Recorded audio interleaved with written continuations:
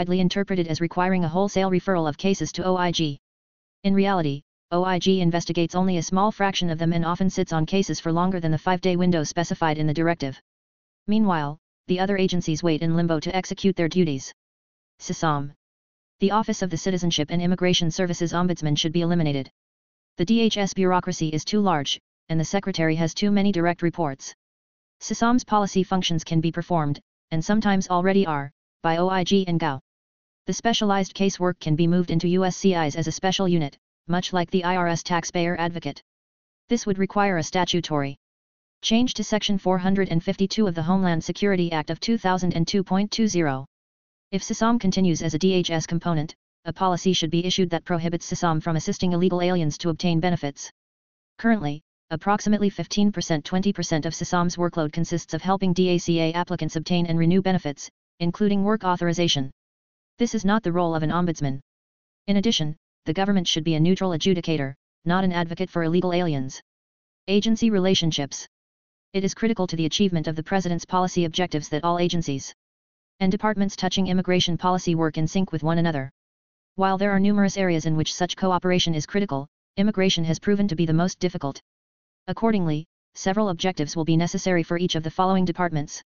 L Department of Health and Human Services, agree to move the Office of Refugee Resettlement, or, to DHS or, alternatively, implement an aggressive and regular effort by the Secretary of HHS to ensure that OR is fully pursuing presidential objectives in support of DHS. L Department of Defense, assist in aggressively building the border wall system on America's southern border. Additionally, explicitly acknowledge and adjust personnel and priorities to participate actively in the defense of America's borders, including using military personnel and hardware to prevent illegal crossings between ports of entry and channel all cross-border traffic to legal ports of entry. L Department of Justice, agree to move the Executive Office for Immigration Review and the Office of Immigration Litigation to DHS and slash or, alternatively, to treat the administrative law judges, immigration judges and Board of Immigration Appeals, as national security personnel, decertify their union, and move to increase hiring significantly to enable the processing of more immigration cases. L Department of State, allow DHS to lead international engagement in the Western Hemisphere on issues of security and migration.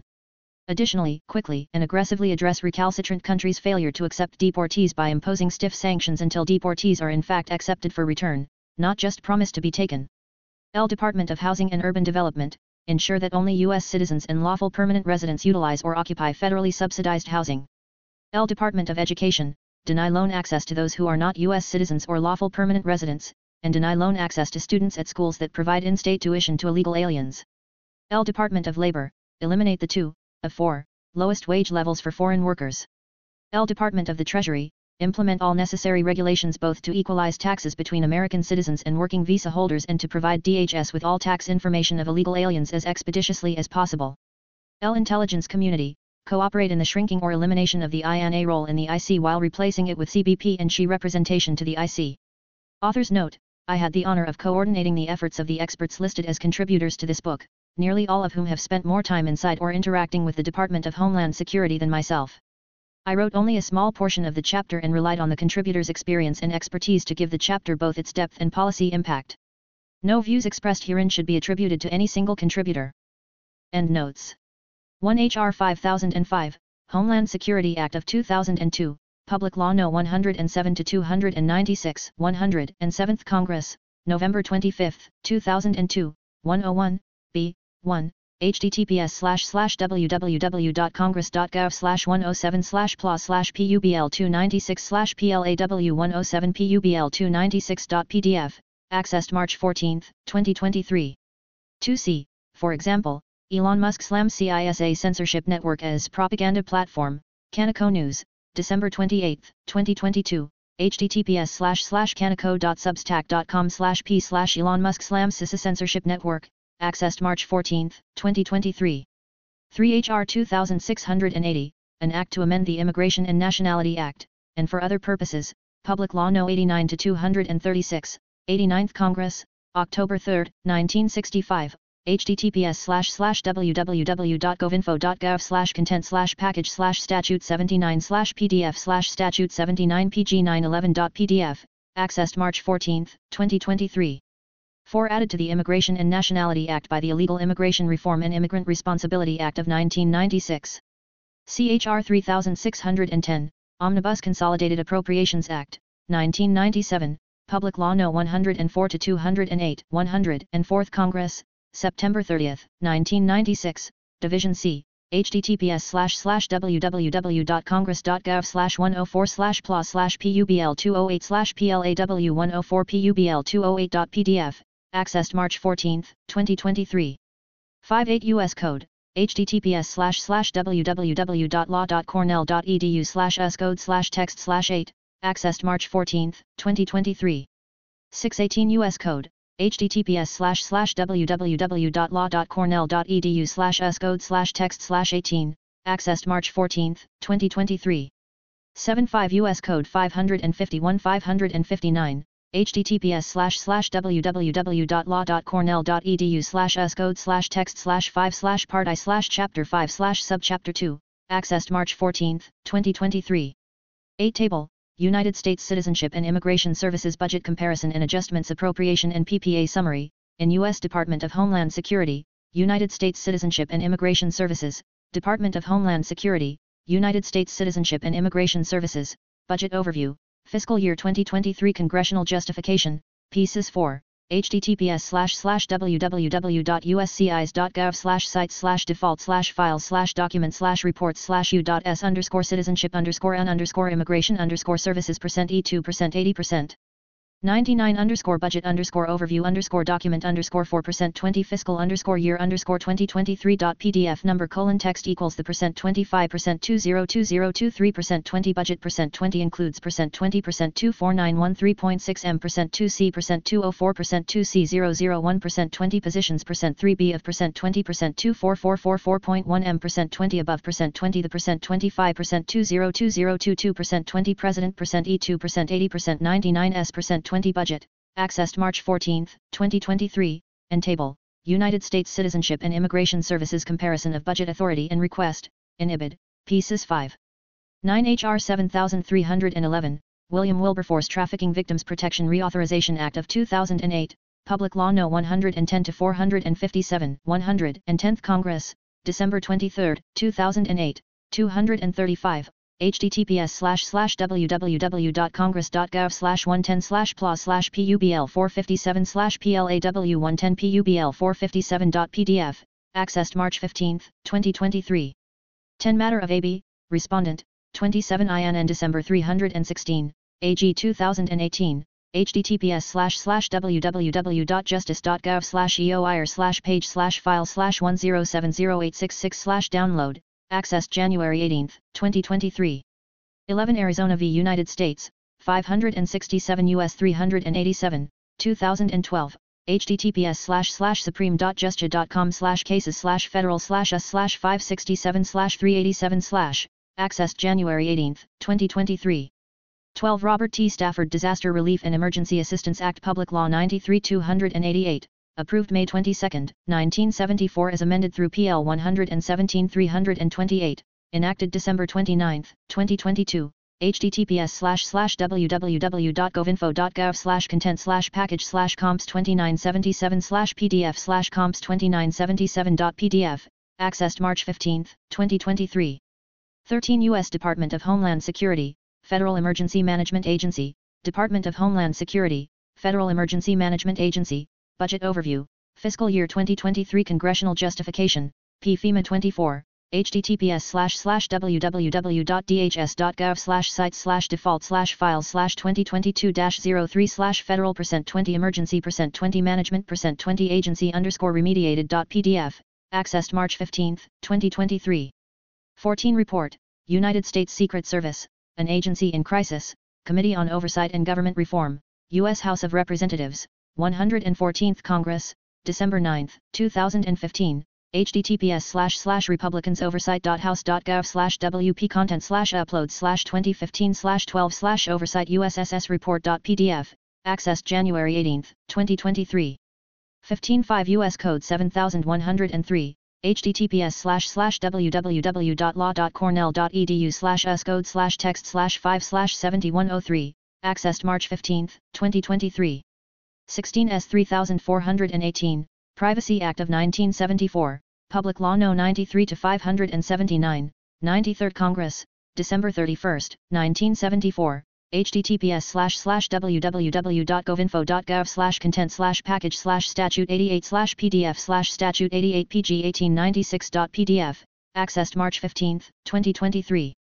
17 HR 1428, Judicial Redress Act of 2015, Public Law No. 114 to 126, 114th Congress, February 24, 2016, https slash slash www.congress.gov slash 114 slash PLA slash PUBL 126 slash PLAW 114 PUBL 126.pdf, accessed March 15, 2023. 18 HR 1158, Consolidated Appropriations Act, 2020, Public Law No. 116 to 93, 116th Congress, December 20, 2019, https slash slash www.congress.gov slash bill slash 116 th congress slash house bill slash 1158 accessed january 18 2023 19 u.s department of homeland security office of inspector general management directive no. 0810.1 june 10 2004 https slash slash www.dhs.gov slash library slash assets slash foia slash management underscore directive underscore 0810 underscore 1 underscore the underscore office underscore of underscore inspector underscore general dot pdf, accessed March 15, 2023. 20 HR 5005, Homeland Security Act of 2002, Public Law No 107 to 296, 107th Congress, November 25, 2002 https slash slash www.congress.gov slash bill slash 107 th congress slash house bill slash 5005 accessed january 18 2023 warning empty page 6 department of state Kiron K. Skinner the U.S. Department of State's mission is to bilaterally, multilaterally, and regionally implement the President's foreign policy priorities, to serve U.S. citizens abroad, and to advance the economic, foreign policy, and national security interests of the United States. Since the U.S. founding, the Department of State has been the American government's designated tool of engagement with foreign governments and peoples throughout the world. Country names, borders, leaders, technology, and people have changed in the more than two centuries since the founding, but the basics of diplomacy remain the same. Although the department has also evolved throughout the years, at least in the modern era, there is one significant problem that the next president must address to be successful. There are scores of fine diplomats who serve the president's agenda, often helping to shape and interpret that agenda. At the same time, however, in all administrations, there is a tug-of-war between presidents and bureaucracies and that resistance is much starker under conservative presidents, due largely to the fact that large swaths of the State Department's workforce are left-wing and predisposed to disagree with a conservative president's policy agenda and vision. It should not and cannot be this way, the American people need and deserve a diplomatic machine fully focused on the national interest as defined through the election of a president who sets the domestic and international agenda for the nation. The next administration must take swift and decisive steps to reforge the department into a lean and functional diplomatic machine that serves the President and, thereby, the American people. Below is the basic but essential roadmap for achieving these repairs. History and context. Founded in 1789, the Department of State was one of the first cabinet-level agencies in the new American government. The first Secretary of State, Thomas Jefferson, oversaw a small staff, diplomatic posts in London and Paris, and 10 consular Posts. Point 1 Today, the Department of State has almost 80,000 total employees, including 13,517 Foreign Service employees and 11,683 Civil Service employees, in 275 embassies, consulates, and other posts around the world. Point 2. In theory, the State Department is the principal agency responsible for carrying out the President's foreign policy and representing the United States in other nations and international organizations. To the extent consistent with presidential policy and federal law, the department also supports U.S. citizens and businesses in other nations and vets foreign nationals seeking temporary or permanent entrance to the United States. The State Department also provides humanitarian, security, and other assistance to non-U.S. populations in need, and otherwise advances and supports U.S. national interests abroad. Properly led, the State Department can be instrumental for communicating and implementing a foreign policy vision that best serves American citizens. As the U.S. Commission on National Security 21 St. Century, the Hart-Rudman Commission, observed more than 20 years ago, the State Department is a crippled institution suffering from an ineffective organizational structure in which regional and functional policies do not serve integrated goals, and in which sound management, accountability, and leadership are lacking. 3 Unfortunately, this critique remains accurate. The State Department's failures are not due to a lack of resources.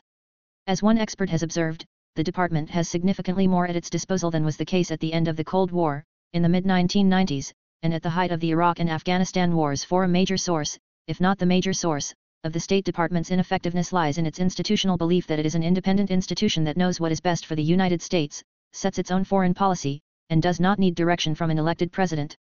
The next president can make the State Department more effective by providing a clear foreign policy vision, selecting political officials and career diplomats that will enthusiastically turn that vision into a policy agenda, and firmly supporting the State Department as it makes the necessary institutional adjustments.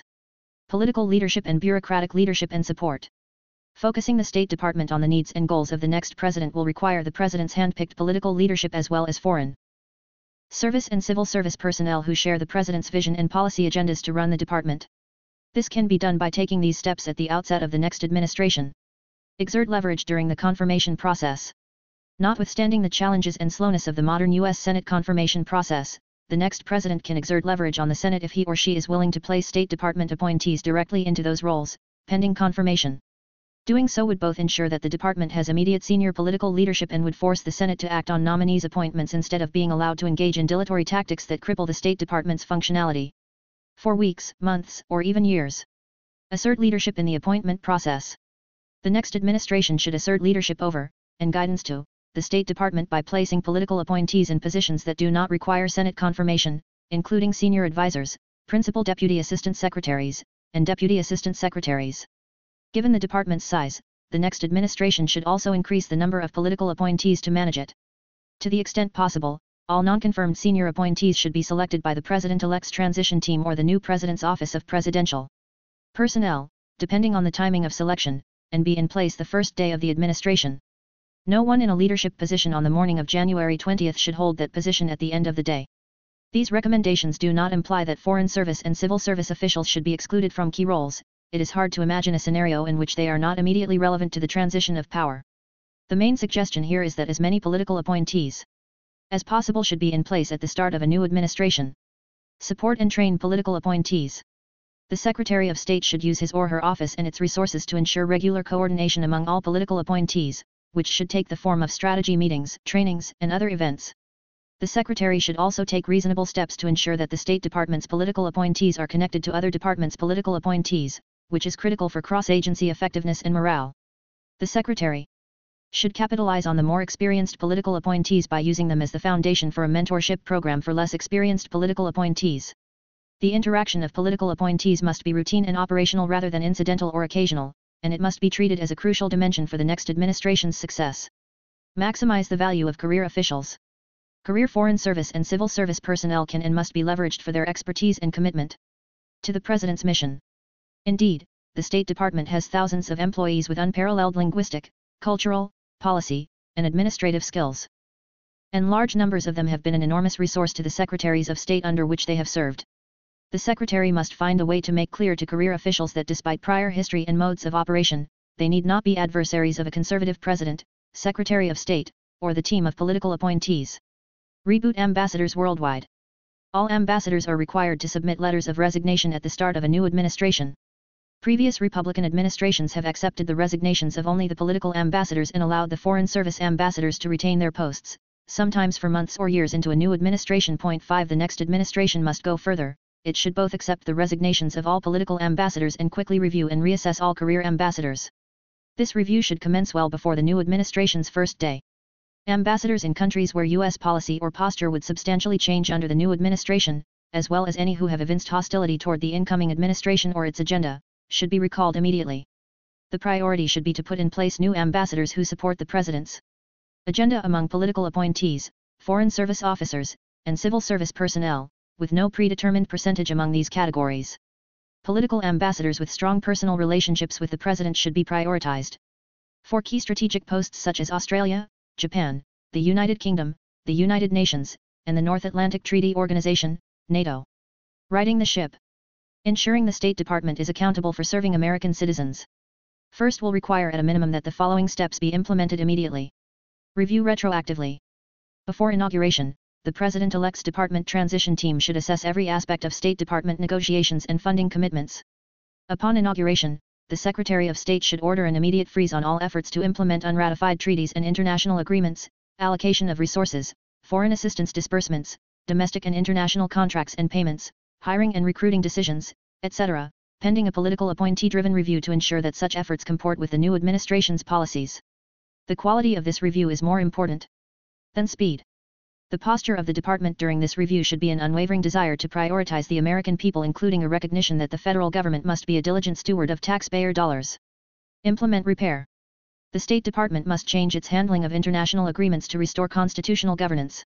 Under prior administrations, unnecessary institutional factors in the department caused numerous logistical challenges in negotiating, approving, and implementing treaties and agreements. This is particularly true under the Biden administration. For example, under the Biden administration, the State Department was considered sufficiently unreliable in terms of alignment and effectiveness such that its political leadership invoked its Circular 175, C-175, authority to delegate its diplomatic capacity to other agencies such as the Department of Homeland Security. At time of publication, the State Department is negotiating, or seeking to negotiate, large-scale, sovereignty-eroding agreements that could come at considerable economic and other costs to the American people. Although such agreements should be evaluated and approved as our treaties, the Biden administration is likely to simply call them agreements. The Biden State Department not only approves but also enforces treaties that have not been ratified by the U.S. Senate. This practice must be thoroughly reviewed and most likely jettisoned. The next president should recalibrate how the State Department handles treaties and agreements, primarily by restoring constitutionality to these processes. He or she should direct the Secretary of State to freeze any ongoing treaty or international agreement negotiations and assess whether those efforts align with the new president's foreign policy direction. The next administration should also direct the Secretary to order an immediate stand down on enforcement of any treaties that have not been ratified by the Senate, and order a thorough review of the degree to which such enforcement has impacted the department's functions, policies, and use of resources. The Secretary of State, in cooperation with the Office of the Attorney General and the White House Counsel's Office, should also conduct a review to identify agreements that are really treaty commitments within the ordinary public meaning of the Constitution 6 and suspend compliance pending presidential transmittal of those agreements to the Senate for advice and consent. The next administration should also move to withdraw from treaties that have been under Senate consideration for 20 years or more, with the understanding that those treaties are unlikely to be ratified. Under circumstances in which ratification of a stale treaty before the Senate still serves national interests, the treaty letter of transmittal and submission should be updated for current circumstances the Secretary of State must revoke most outstanding C-175 authorities that have been granted to other agencies. During previous administrations, although such revocations should be closely coordinated with the White House for logistical reasons. Coordinate with other agencies. Interagency engagement in this new environment must be similarly adjusted to mirror presidential direction. Indeed, coordination among federal agencies is challenging even in the most well-oiled administrations. Although such coordination is inescapable and sometimes productive, Agencies tend to leverage each other's resources in ways that occasionally have off-mission consequences for the agency or agencies with the resources. Ideally, they Secretary of State should work as part of an agile foreign policy team along with the National Security Advisor, the Secretary of Defense, and other agency heads to flesh out and advance the President's foreign policy. Bureaucratic stovepipes of the past should be less important than commitment to, and achievement of, the President's foreign policy agenda. The State Department's role in these interagency discussions must reflect the President's clear direction and disallow resources and tools to be used in any way that detracts from the presidentially directed mission. Coordinate with Congress. Congress has both the statutory and appropriations authority to impact the State Department's operations and has a strong interest in key aspects of American foreign policy. The department must therefore take particular care in its interaction with Congress, since poor interactions with Congress, regardless of intentions, could trigger congressional pushback or have other negative impacts on the President's agenda. This will require particularly strong leadership of the Department of State's Bureau of Legislative Affairs. The Secretary of State and political leadership should ensure full coordination with the White House regarding congressional engagement on any State Department responsibility. This may lead to, for example, the President authorizing the State Department to engage with members of Congress and relevant committees on certain issues, including statutorily designated congressional consultations, but to remain radio silent on volatile or designated issues on which the White House wants to be the primary or only voice. All such authorized department engagements with Congress must be driven and handled by political appointees in conjunction with career officials who have the relevant expertise and are willing to work in concert with the President's political appointees. On particularly sensitive matters. Respond vigorously to the Chinese threat. The State Department recently opened the Office of China Coordination, or China House. This office is intended to bring together experts inside and outside the State Department to coordinate U.S. government relations with China and advance our vision for an open, inclusive, international system. 7. Whether China House will streamline U.S. government communication, consensus, and action on China policy given the presence of other agencies with strong competing or adverse interests remains to be seen. The unit is dependent on adequate and competent staff being assigned by other bureaus within the State Department. Nonetheless, the concept is one a Republican administration should support mutatis mutandis. The Chinese Communist Party, CCP, has been at war with the US for decades. Now that this reality has been accepted throughout the government, the State Department must be prepared to lead the U.S. diplomatic effort accordingly. The centralization of efforts in one place is critical to this end. Review immigration and domestic security requirements. Arguably, the department's most noteworthy challenge on the global stage has been its handling of immigration and domestic security issues, which are inextricably related. The State Department's apparent posture toward these two issues, which are of paramount importance to the American people, has historically been that they are of lesser importance than other issues and that they can be treated as concessions in broader diplomatic engagements. In other instances in which access to the U.S. in the form of immigrant, permanent, and non-immigrant, temporary, visas could potentially serve as diplomatic leverage, it is almost never used. To some degree, the State Department and many of its personnel appear to view the U.S. immigration system less as a tool for strengthening the United States and more as a global welfare program. To ensure the safety, security, and prosperity of all Americans, this must change. Below are several key areas in which the department's formal and informal postures must adjust to reflect the current immigration and domestic security environment. L. Visa reciprocity. The United States should strictly enforce the doctrine of reciprocity when issuing visas to all foreign nationals. For too long, the U.S. has provided virtually unfettered access to foreign nationals from countries that do not respond in kind including countries that are actively hostile to U.S. interests and nationals. Mandatory reciprocity will convey the necessary reality that other countries do not have an unfettered right to U.S. access and must reciprocally offer favorable visa-based access to U.S. nationals. The State Department's reaction time to other countries' changes in visa policies with respect to the U.S. must be streamlined to ensure it can be updated in real time. L. Section 243, D. Visa Sanctions. Visa sanctions under Section 243, D. of the Immigration and Nationality Act, INA, 8 enacted into law to motivate countries to accept the return of any nationals who have been ordered removed from the U.S., should be quickly and fully enforced. Recalcitrant countries that do not accept receipt of their returned nationals will risk the suspension of issuance of all immigrant visas, all non-immigrant visas, or all visas. These country-specific sanctions should remain in place until the sanctioned country accepts the return of all its removal pending nationals and formally commits to future, regular acceptance of its nationals. Black letter implementation of this law will demonstrate a heretofore lacking seriousness to the international community that other nations must respect U.S. immigration laws and work with federal authorities to accept returning nationals or lose access to the United States. L. Right-sizing refugee admissions. The Biden administration has engineered what is nothing short of a collapse of U.S. border security and interior immigration enforcement.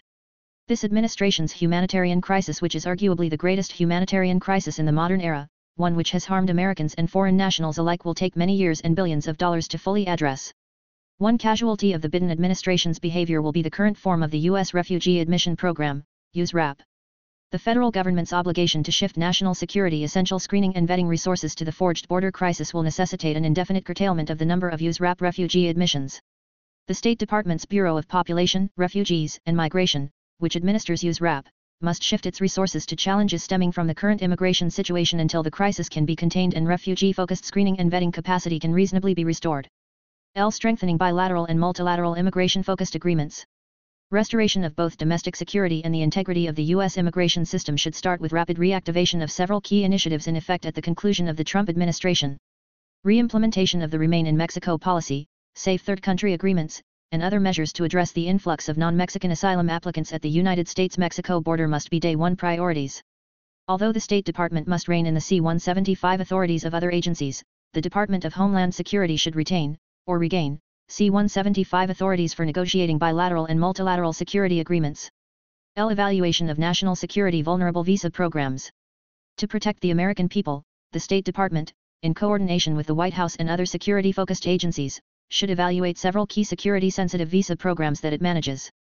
Key programs include, but should not be limited to, the Diversity Visa Program, the F, Student, Visa Program, and J, Exchange Visitor, Visa Program. The State Department's evaluation must ensure that these programs are not only consistent with White House immigration policy, but also align with its national security obligations and resource limitations. Pivoting abroad. Personnel and management adjustments are crucial preludes to refocus the State Department's mission, which is implementing the President's foreign policy agenda and, in so doing, ensuring that the interests of American citizens are given priority. That said, the next president must significantly reorient the US government's posture toward friends and adversaries alike which will include much more honest assessments about who are friends and who are not. This reorientation could represent the most significant shift in core foreign policy principles and corresponding action since the end of the Cold War. Although not every country or issue area can be discussed in this chapter, below are examples of several areas in which a shift in U.S. foreign policy is not only important, but arguably existential. The point is not to assert that everyone in the evolving conservative movement, or, in some cases, the growing bipartisan consensus, will agree with the details of this assessment. Rather, what is presented below demonstrates the urgency of these issues and provides a general roadmap for analysis. In a world on fire, a handful of nations require heightened attention. Some represent existential threats to the safety and security of the American people, others threaten to hurt the U.S. economy, and others are wild cards, whose full threat scope is unknown but nevertheless unsettling. The five countries on which the next administration should focus its attention and energy are China, Iran, Venezuela, Russia, and North Korea. The People's Republic of China. The designs of the People's Republic of China, PRC, and the Chinese Communist Party, which runs the PRC, are serious and dangerous. Point 9 This tyrannical country with a population of more than 1 billion people has the vision, resources, and patience to achieve its objectives. Protecting the United States from the PRC's designs requires an unambiguous offensive-defensive mix, including protecting American citizens and their interests, as well as U.S. allies, from PRC attacks and abuse that undermine U.S. competitiveness, security, and prosperity. The United States must have a cost-imposing strategic response to make Beijing's aggression unaffordable, even as the American economy and U.S. power grow.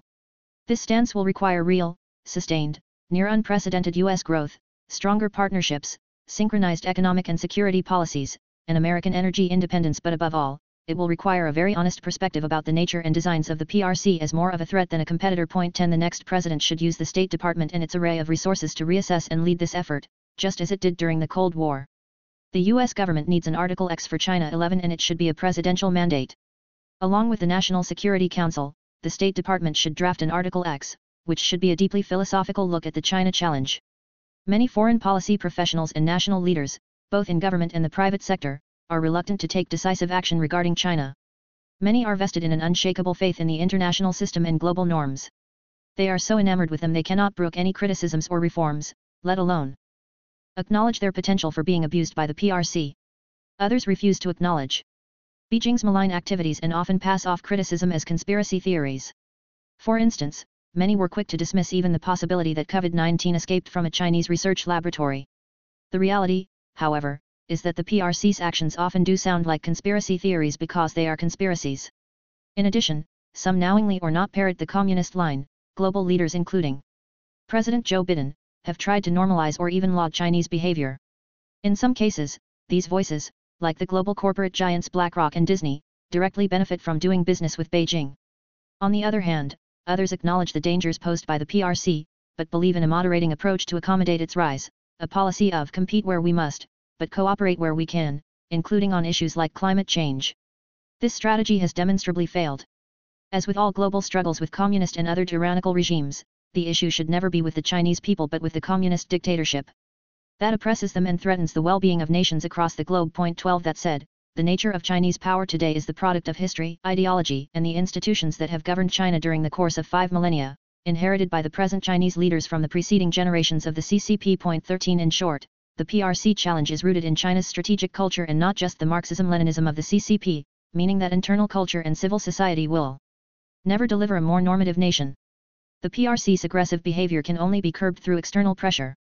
The Islamic Republic of Iran The ongoing protests in the Islamic Republic of Iran, Iran, which are widely viewed as a new revolution, have shown that the Islamic regime, which has been in power since 1979 when Ayatollah Khomeini became the leader, is at its weakest state in its history and is at odds not only with its own people but also its regional neighbors. Iran is home to a proud and ancient culture, yet its people have struggled to achieve democracy and have had to endure a hostile theocratic regime that vehemently opposes freedom. The time may be right to press harder on the Iranian theocracy, support the Iranian people, and take other steps to draw Iran into the community of free and modern nations. Unfortunately, the Obama and Biden administrations have propped up the brutal Islamist theocracy that has hurt the Iranian people and threatened nuclear war. For example, the Obama administration's 2015 Joint Comprehensive Plan of Action, commonly referred to as the Iran nuclear deal, gave the Islamic regime a crucial monetary lifeline after the Green Movement protests in 2009, which, while ultimately unsuccessful, did succeed in weakening the regime and showing the world that younger Iranians want freedom. Instead of pressuring the Iranian theocracy to move toward democracy, the Obama administration threw the brutal regime an economic lifeline by giving hundreds of billions of dollars to the Iranian government and providing other sanctions. Relief This economic relief did not moderate the regime, but emboldened its brutality, its efforts to expand its nuclear weapons programs, and its support for global terrorism. Former President Obama has admitted his lack of support for the Green Movement during his administration was an error and blamed it on poor advisers yet those same advisers are involved with the Biden administration's insistence on reducing pressure on the theocracy and resurrecting a nuclear deal the next administration should neither preserve nor repeat the mistakes of the Obama and Biden administrations. The correct future policy for Iran is one that acknowledges that it is in U.S. national security interests, the Iranian people's human rights interests, and a broader global interest in peace and stability for the Iranian people to have the democratic government they demand. This decision to be free of the country's abusive leaders must of course be made by the Iranian people, but the United States can utilize its own and others' economic and diplomatic tools to ease the path toward a free Iran and a renewed relationship with the Iranian people the Bolivarian Republic of Venezuela. Once a model of democracy and a true U.S. ally, the Bolivarian Republic of Venezuela. Venezuela, has all but collapsed under the communist regimes of the late Hugo Chavez and Nicolas Maduro. In the 24 years since Hugo Chavez was first elected Venezuelan president in 1999, the country has violently cracked down on pro-democracy citizens and organizations, shattered its once oil-rich economy, empowered domestic criminal cartels, and helped fuel a hemispheric refugee crisis. Venezuela has swung from being one of the most prosperous, if not the most prosperous, country in South America to being one of the poorest. Its communist leadership has also drawn closer to some of the United States' greatest international foes, including the PRC and Iran, which have long sought a foothold in the Americas. Indeed, Venezuela serves as a reminder of just how fragile democratic institutions that are not maintained can be. To contain Venezuela's communism and aid international partners, the next administration must take important steps to put Venezuela's communist abusers on notice while making strides to help the Venezuelan people. The next administration must work to unite the hemisphere against this significant but underestimated threat in the southern hemisphere. Russia. One issue today that starkly divides conservatives is the Russia-Ukraine conflict. The common ground seems to be recognition that presidential leadership in 2025 must chart the course. L1 school of conservative thought holds that as Moscow's illegal war of aggression against Ukraine drags on, Russia presents major challenges to U.S. interests, as well as to peace, stability, and the post-Cold War security order in Europe. This viewpoint argues for continued U.S. involvement including military aid, economic aid, and the presence of NATO and U.S. troops if necessary. The end goal of the conflict must be the defeat of Russian President Vladimir Putin and a return to pre-invasion border lines. L. Another school of conservative thought denies that U.S.-Ukrainian support is in the national security interest of America at all. Ukraine is not a member of the NATO alliance and is one of the most corrupt nations in the region. European nations directly affected by the conflict should aid in the defense of Ukraine, but the US should not continue its involvement. This viewpoint desires a swift end to the conflict through a negotiated settlement between Ukraine and Russia. L. The tension between these competing positions has given rise to a third approach. This conservative viewpoint eschews both isolationism and interventionism. Rather, each foreign policy decision must first ask the question, what is in the interest of the American people? U.S. military engagement must clearly fall within U.S. interests, be fiscally responsible, and protect American freedom, liberty, and sovereignty, all while recognizing Communist China as the greatest threat to U.S. interests. Thus, with respect to Ukraine, continued U.S. involvement must be fully paid for, limited to military aid, while European allies address Ukraine's economic needs, and have a clearly defined national security strategy that does not risk American lives. Regardless of viewpoints, all sides agree that Putin's invasion of Ukraine is unjust and that the Ukrainian people have a right to defend their homeland. Furthermore, the conflict has severely weakened Putin's military strength and provided a boost to NATO unity and its importance to European nations. The next conservative president has a generational opportunity to bring resolution to the foreign policy tensions within the movement and chart a new path forward that recognizes Communist China as the defining threat to U.S. interests in the 21st century. The Democratic People's Republic of Korea. Peace and stability in Northeast Asia are vital interests of the United States. The Republic of Korea, South Korea, and Japan are critical allies for ensuring a free and open Indo-Pacific. They are indispensable military, economic, diplomatic, and technology partners. The Democratic People's Republic of Korea, DPRK, or North Korea, must be deterred from military conflict. The United States cannot permit the DPRK to remain a de facto nuclear power with the capacity to threaten the United States or its allies. This interest is both critical to the defense of the American homeland and the future of global nonproliferation.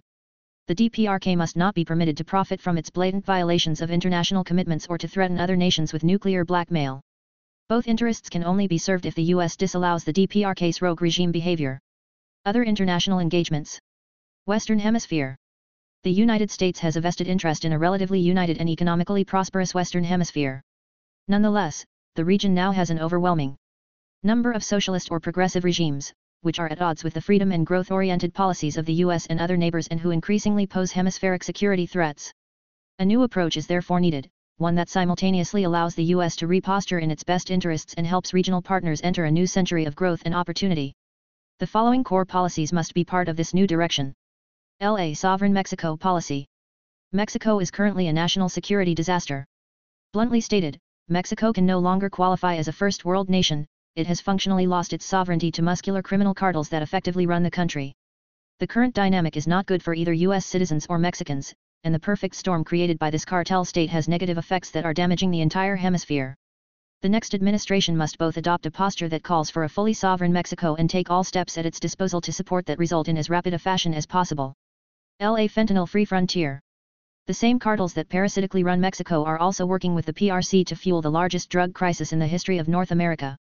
These Mexican cartels are working closely with Chinese fentanyl precursor chemical manufacturers, importing those precursor chemicals into Mexico, manufacturing fentanyl on Mexican soil, and shipping it into the United States and elsewhere. The highly potent narcotic is having an unprecedented lethal impact on the American citizenry the next administration must leverage its new insistence on a sovereign Mexico and work with other Western Hemisphere partners to halt the fentanyl crisis and put a decisive end to this unprecedented public health threat. LA Hemisphere-centered approach to industry and energy. The next administration has a golden opportunity to make key economic changes that will not only provide tremendous economic opportunities for Americans but will also serve as an economic boon to the entire Western Hemisphere. First, the United States must do everything possible, with both resources and messaging, to shift global manufacturing and industry from more distant points around the globe, especially from the increasingly hostile and human rights abusing PRC, to Central and South American countries. Rehemisphering manufacturing and industry closer to home will not only eliminate some of the more recent supply chain issues that damaged the U.S. economy but will also represent a significant economic improvement for parts of the Americas in need of growth and stabilization. Similarly, the United States must work with Mexico, Canada, and other countries to develop a hemisphere-focused energy policy that will reduce reliance on distant and manipulable sources of fossil fuels, restore the free flow of energy among the hemisphere's largest producers, and work together to increase energy production, including for nations that are looking for dramatic economic expansion. LA Local Approach to Security Threats Western Hemisphere nations, including those in the Caribbean, arguably have stronger cultural and historical ties to the United States than most other countries and regions in the world. Yet Central and South America are moving rapidly into the sphere of anti-American, external state actors, including the PRC, Iran, and Russia. Specific countries in the Americas, such as Venezuela, Colombia, Guyana, and Ecuador, are either increasingly regional security threats in their own rights or are vulnerable to hostile extracontinental powers. The U.S. has an opportunity to lead these democratic neighbors to fight against the external pressure of threats from abroad and address local regional security concerns. This leadership and collaboration must span all tools at the disposal of U.S. allies and partners, including security-focused cooperation. Middle East and North Africa.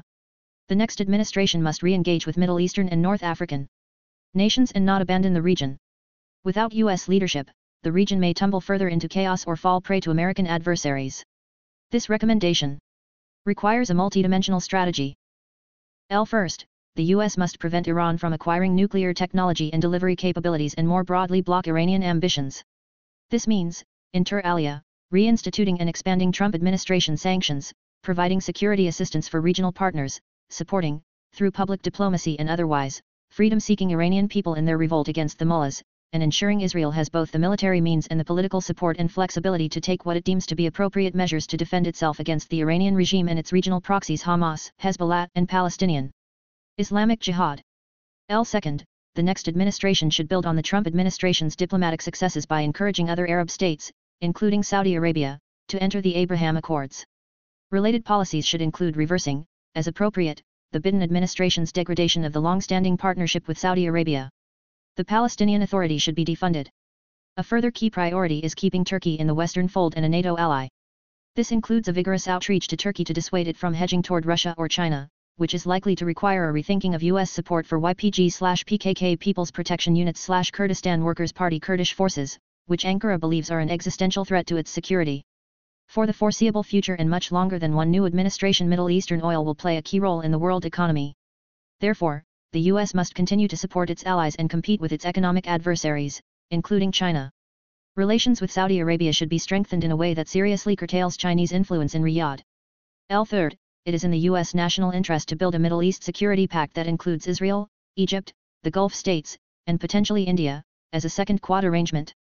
Protecting freedom of navigation in the Gulf and in the Red Sea-Suez Canal is vital to the world economy and therefore to U.S. prosperity as well. In North Africa, security cooperation with European allies, especially France, will be vital to limit growing Islamist threats and the incursion of Russian influence through positionings of the Wagner Group. L. The U.S. cannot neglect a concern for human rights and minority rights, which must be balanced with strategic and security considerations. Special attention must be paid to challenges of religious freedom, especially the status of Middle Eastern Christians and other religious minorities, as well as the human trafficking endemic to the region.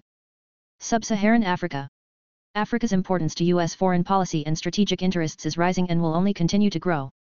Its explosive population growth, large reserves of industry-dependent minerals, proximity to key maritime shipping routes, and its collective diplomatic power ensure the continent's global importance.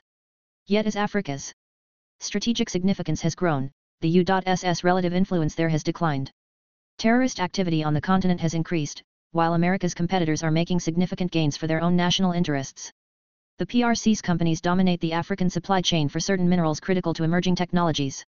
African nations comprise major country bloc elements that shield the PRC and Russia from international isolation for their human rights abuses and African nations staunchly support PRC foreign policy goals on issues such as Hong Kong occupation, South China Seas dispute arbitration, and Taiwan. The new administration can correct this strategic failing of existing policy by prioritizing Africa and by undertaking fundamental changes in how the United States works with African nations.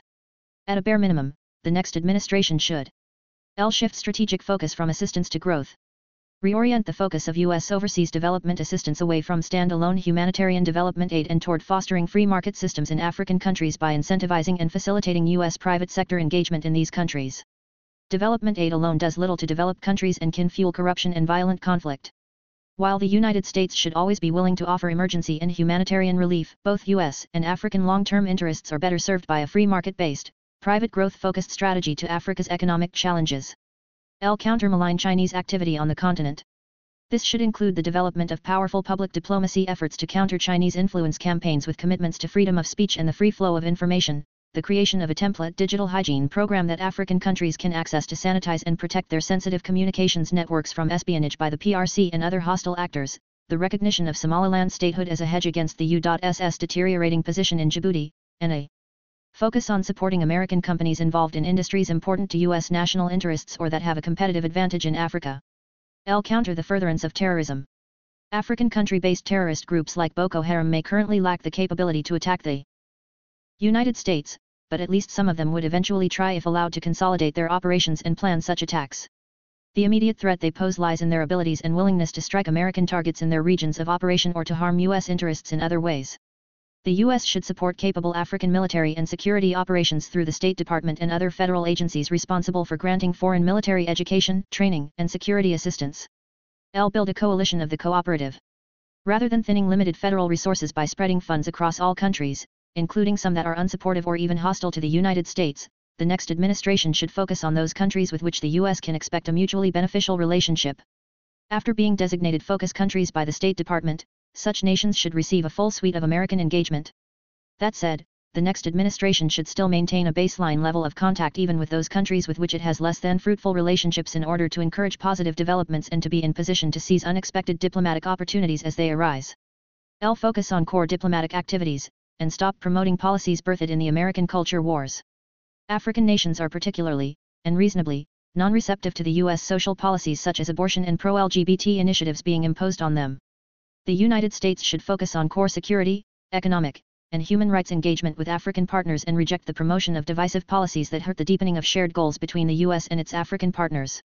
Europe American foreign policy has long benefited from cooperation with the countries of Europe, generally, the EU, and any conservative administration should build on this resource.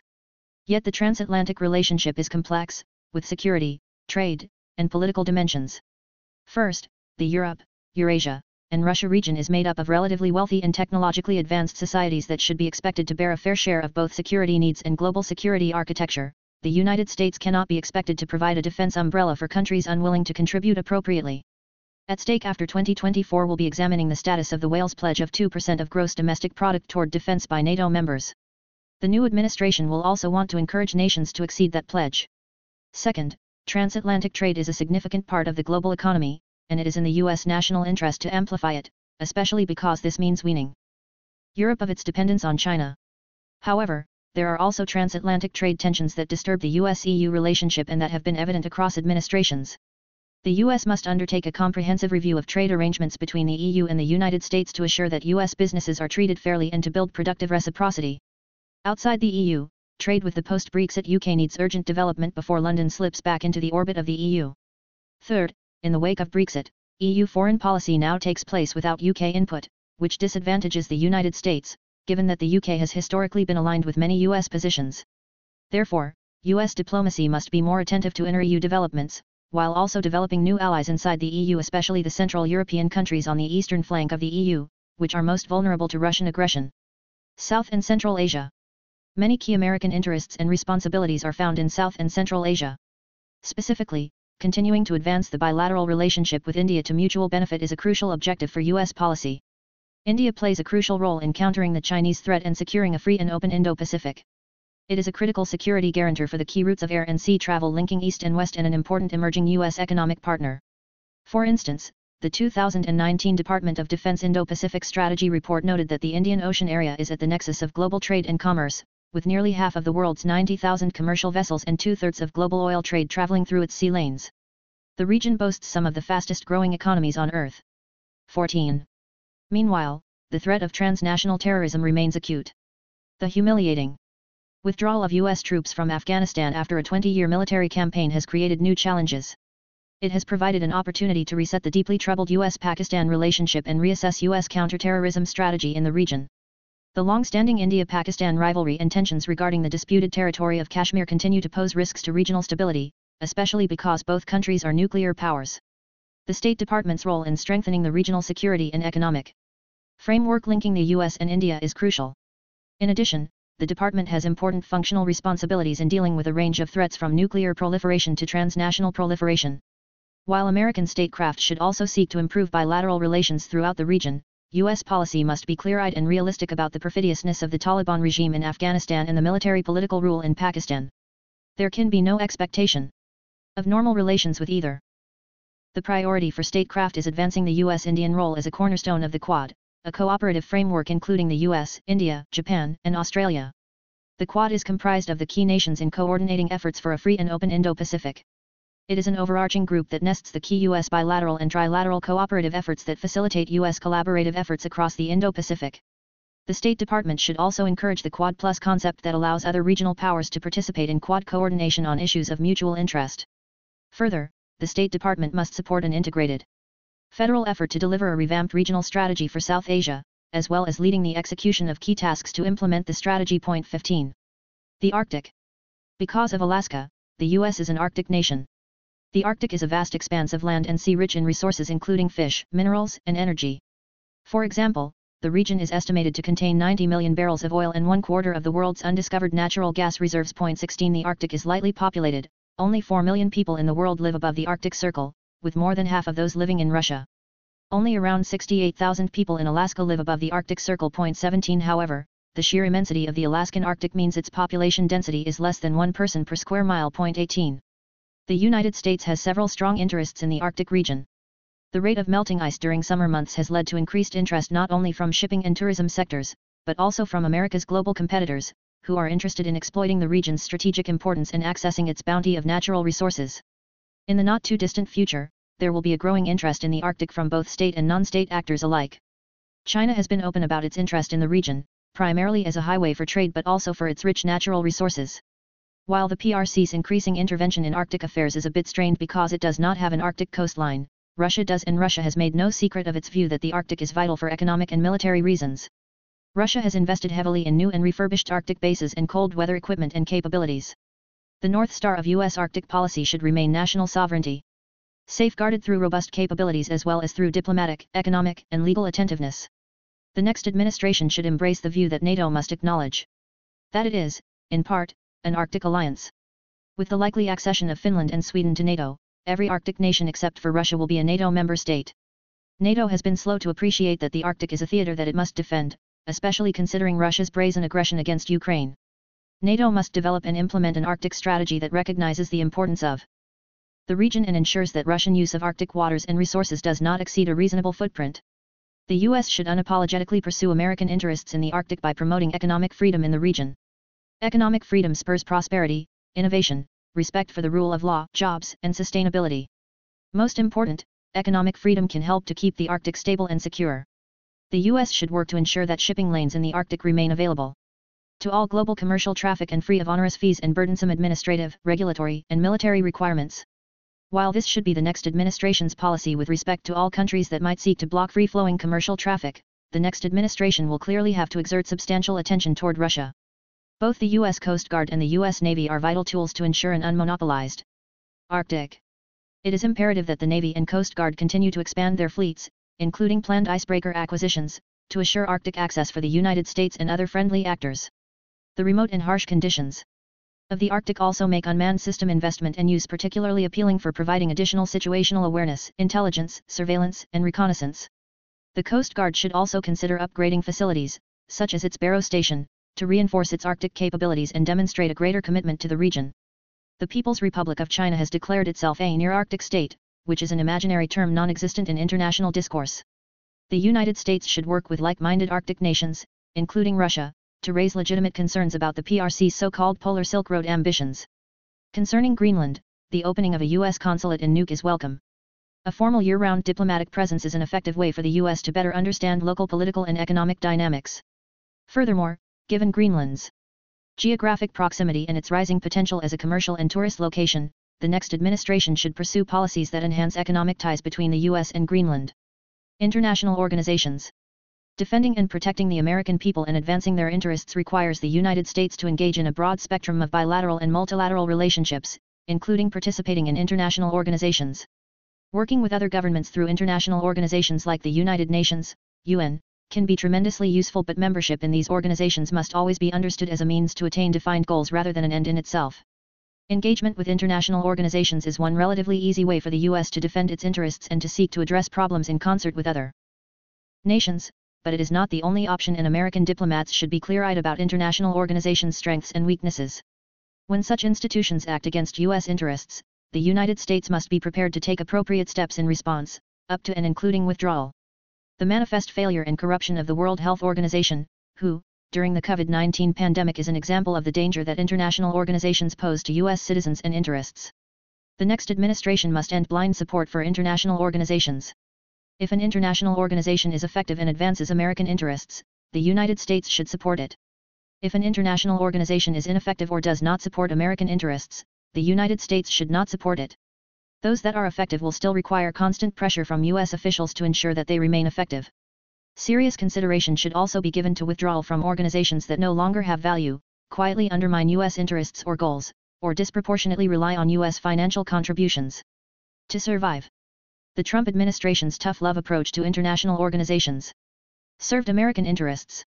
For example, the Trump administration withdrew from, or terminated funding for, the United Nations Human Rights Council, the United Nations Educational, Scientific, and Cultural Organization, the United Nations Relief and Works Agency, and the WHO.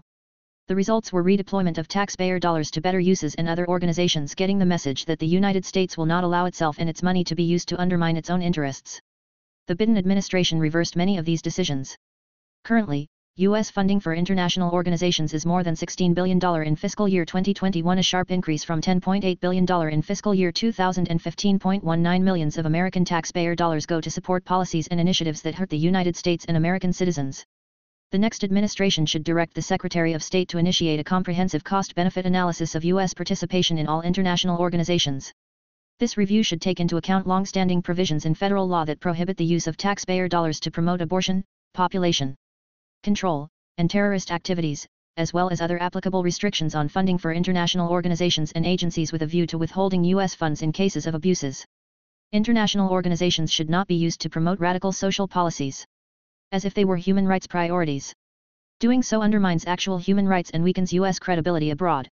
The next administration should use its voice, influence, votes, and funding in international organizations to promote authentic human rights and respect for sovereignty based on the binding international obligations contained in treaties that have been constitutionally ratified by the U.S. government.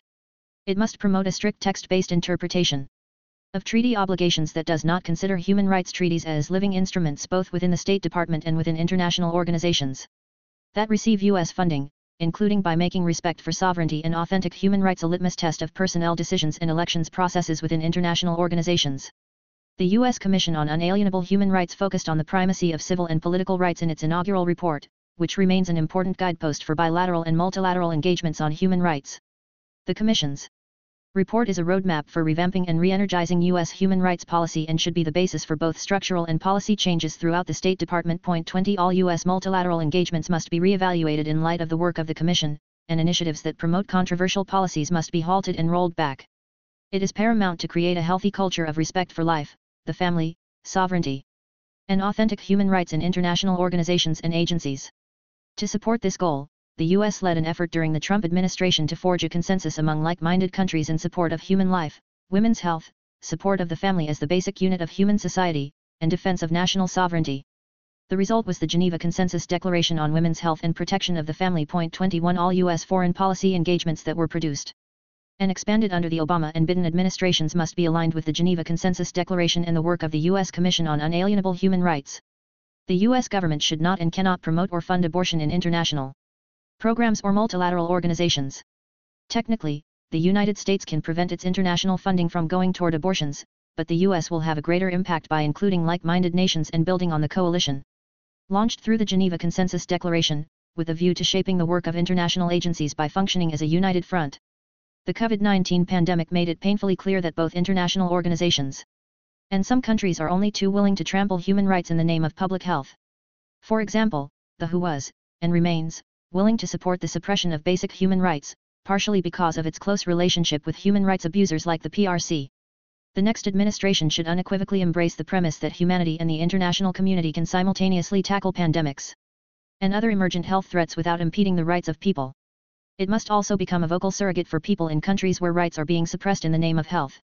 This will likely require greater restrictions on the supply of federal dollars to the WHO and other health-focused international organizations pending adjustment of their policies the United States must return to treating international organizations as vehicles for promoting American interests or take steps to extract itself from those organizations. Shaping the future.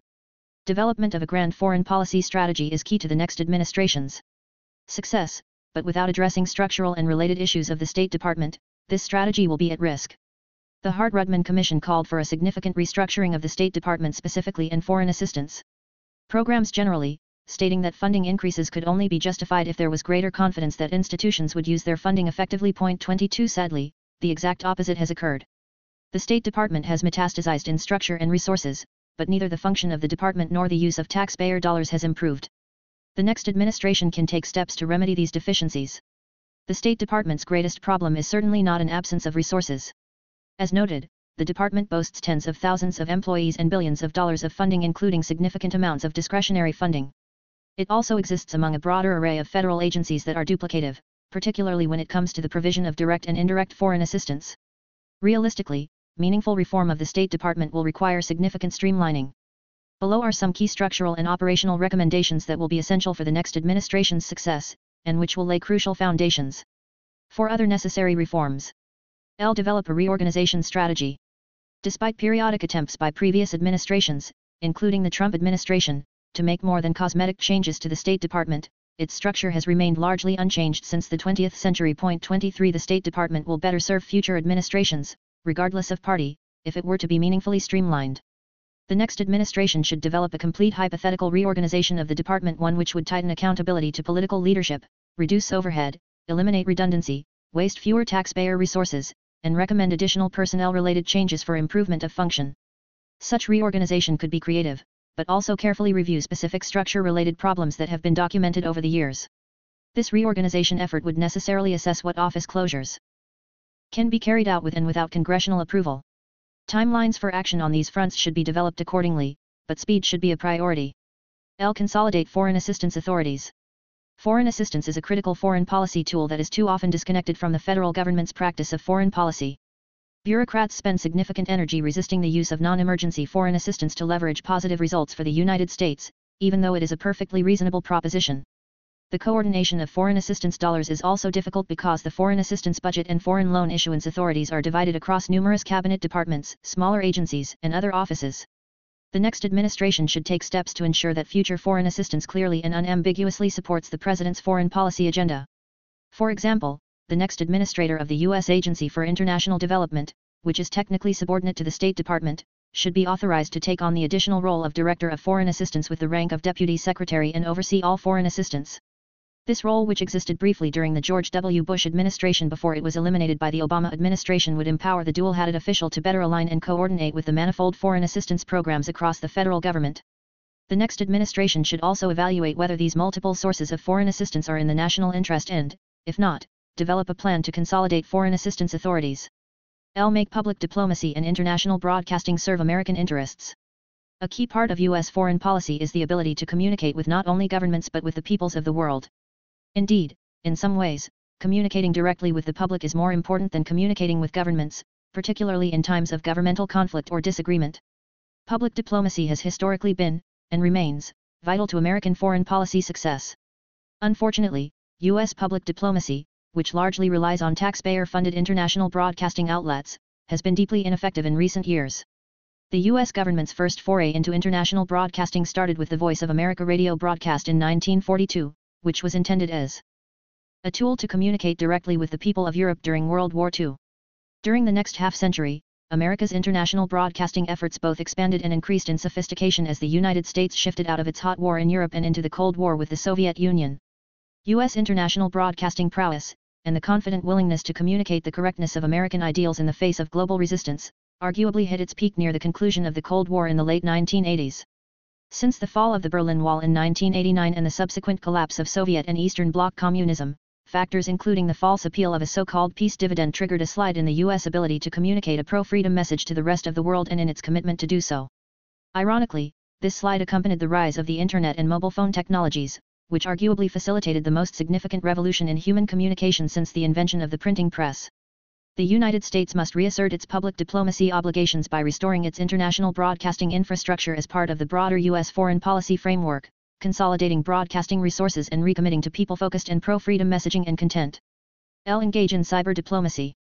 Cyberspace has become an arena for competition between the U.S. and nations that seek and export digital authoritarianism. Cyberspace protection is critical to national security and deserving of commensurate diplomatic resources. Defined as the use of diplomatic tools to address issues arising in and through cyberspace, cyber diplomacy is a key part of the U.S. government's toolkit for preventing and addressing cyber threats. Point 24. The model for cyberspace that the U.S. espouses is based on democracy and freedom of information.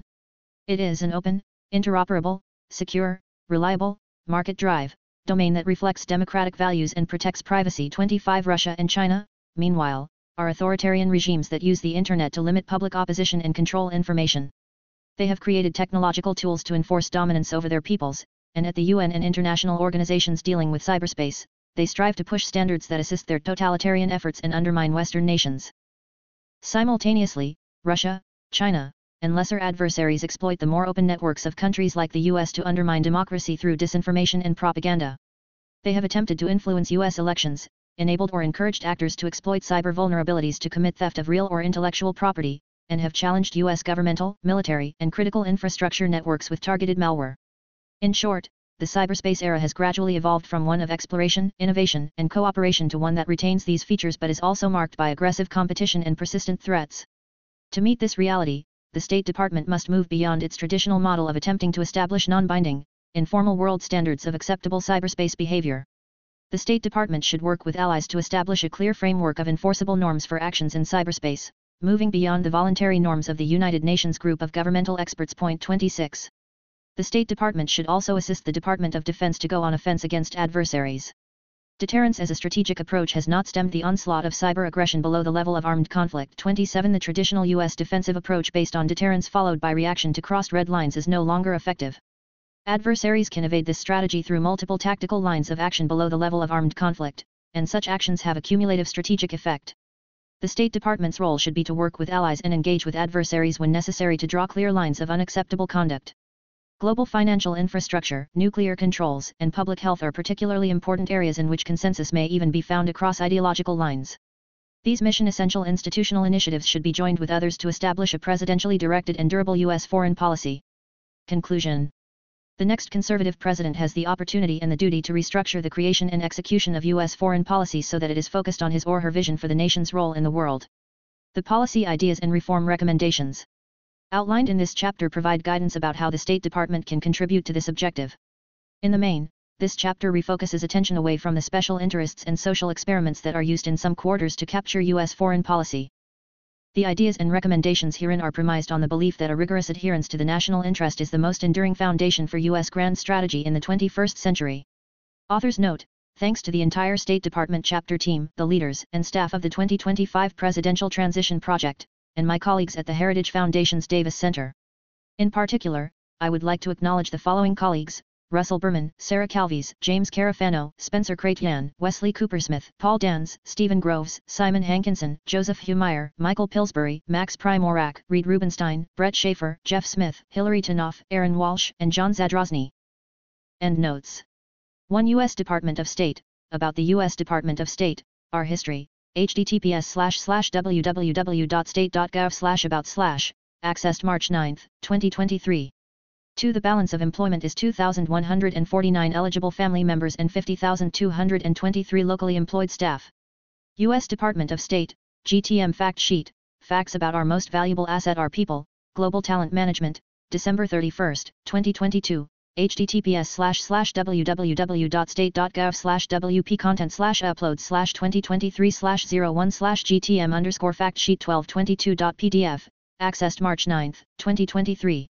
3. U.S. Commission on National Security, Roadmap for National Security, Imperative for Change, Phase 3 Report, February 15, 2001, px, http colon slash slash govinfo.library.unt.edu slash nssg slash phase 2 ifr.pdf, accessed March 9, 2023. 4. C. Brett D. Schaefer, How to Make the State Department More Effective at Implementing U.S. Foreign Policy, Heritage Foundation Backgrounder number 3115, April 20, 2016, https slash slash www.heritage.org slash political process slash report slash how make the State Department more effective implementing US foreign. 5. Historically, roughly one-third of ambassadorial appointments have been political appointments, although Republican administrations have generally had a higher ratio of political appointments than Democratic administrations. 6. U.S. Constitution, Art. 2, Sector 2, CL2. 7 News Release, Secretary Blinken launches the Office of China Coordination, U.S. Department of State, December 16, 2022, https slash slash www.state.gov slash Secretary Blinken launches the Office of China Coordination slash, accessed March 9, 2023. 8 Immigration and Nationality Act, 8 U.S. Code 1101 ETSEQ, 1253. 9 C. Michael Pillsbury, The Hundred Year Marathon, China's secret strategy to replace the United States as a global superpower, New York, St. Martin's Griffin, 2016. 10 For additional context regarding how countering China fits in a more robust U.S. strategy, see James J. Carafano ETAL, Foreign Policy, Strategy for a Post-Biden Era, Heritage Foundation Backgrounder Number 3715, July 21, 2022, https slash slash www.heritage.org slash defense slash report slash foreign policy strategy post-Biden era. 11. The Article X for China would follow George Kennan's Article X for U.S.-Soviet competition. See George F. Kennan, The Sources of Soviet Conduct, Foreign Affairs, July 1947, https slash slash www.foreignaffairs.com slash articles slash Russian Federation slash 1947-07-01 slash Sources Soviet Conduct, accessed March 22, 2023. 12 Dean Cheng ETAL, Assessing Beijing's Power, a blueprint for the U.S. response to China over the next decades, Heritage Foundation Special Report Number 221, February 20, 2010, https slash slash www.heritage.org slash asia slash report slash assessing Beijing's power blueprint the US response China over the next decades. 13 Eric W. Orts, The Rule of Law in China, Vanderbilt Journal of Transnational Law, Volume 34, Number 1, January 2001, https slash slash scholarship.law.vanderbilt.edu slash cgi slash viewcontent.cgi article equals 1686 and context equals VJTL, accessed March 9, 2023. 14 U.S. Department of Defense, Indo-Pacific Strategy Report, Preparedness, Partnerships, and Promoting a Networked Region, June 1, 2019, https slash slash media.defense.gov slash 2019 slash joule slash 01 slash 20021523111 slash 1 slash 1 slash 1 slash Department of Defense Indo-Pacific Strategy Report 2019.pdf, accessed July 28, 2022. 15 C. Jeff Smith, South Asia, A New Strategy, Heritage Foundation Backgrounder number 3721, August 29, 2022, https slash slash www.heritage.org slash asia slash report slash South Asia New Strategy. 16 Emma Bryce, Why is there so much oil in the Arctic? Live Science, August 3, 2019, https slash slash www.livescience.com slash 66008 Why oil in Arctic.html, accessed February 9, 2023.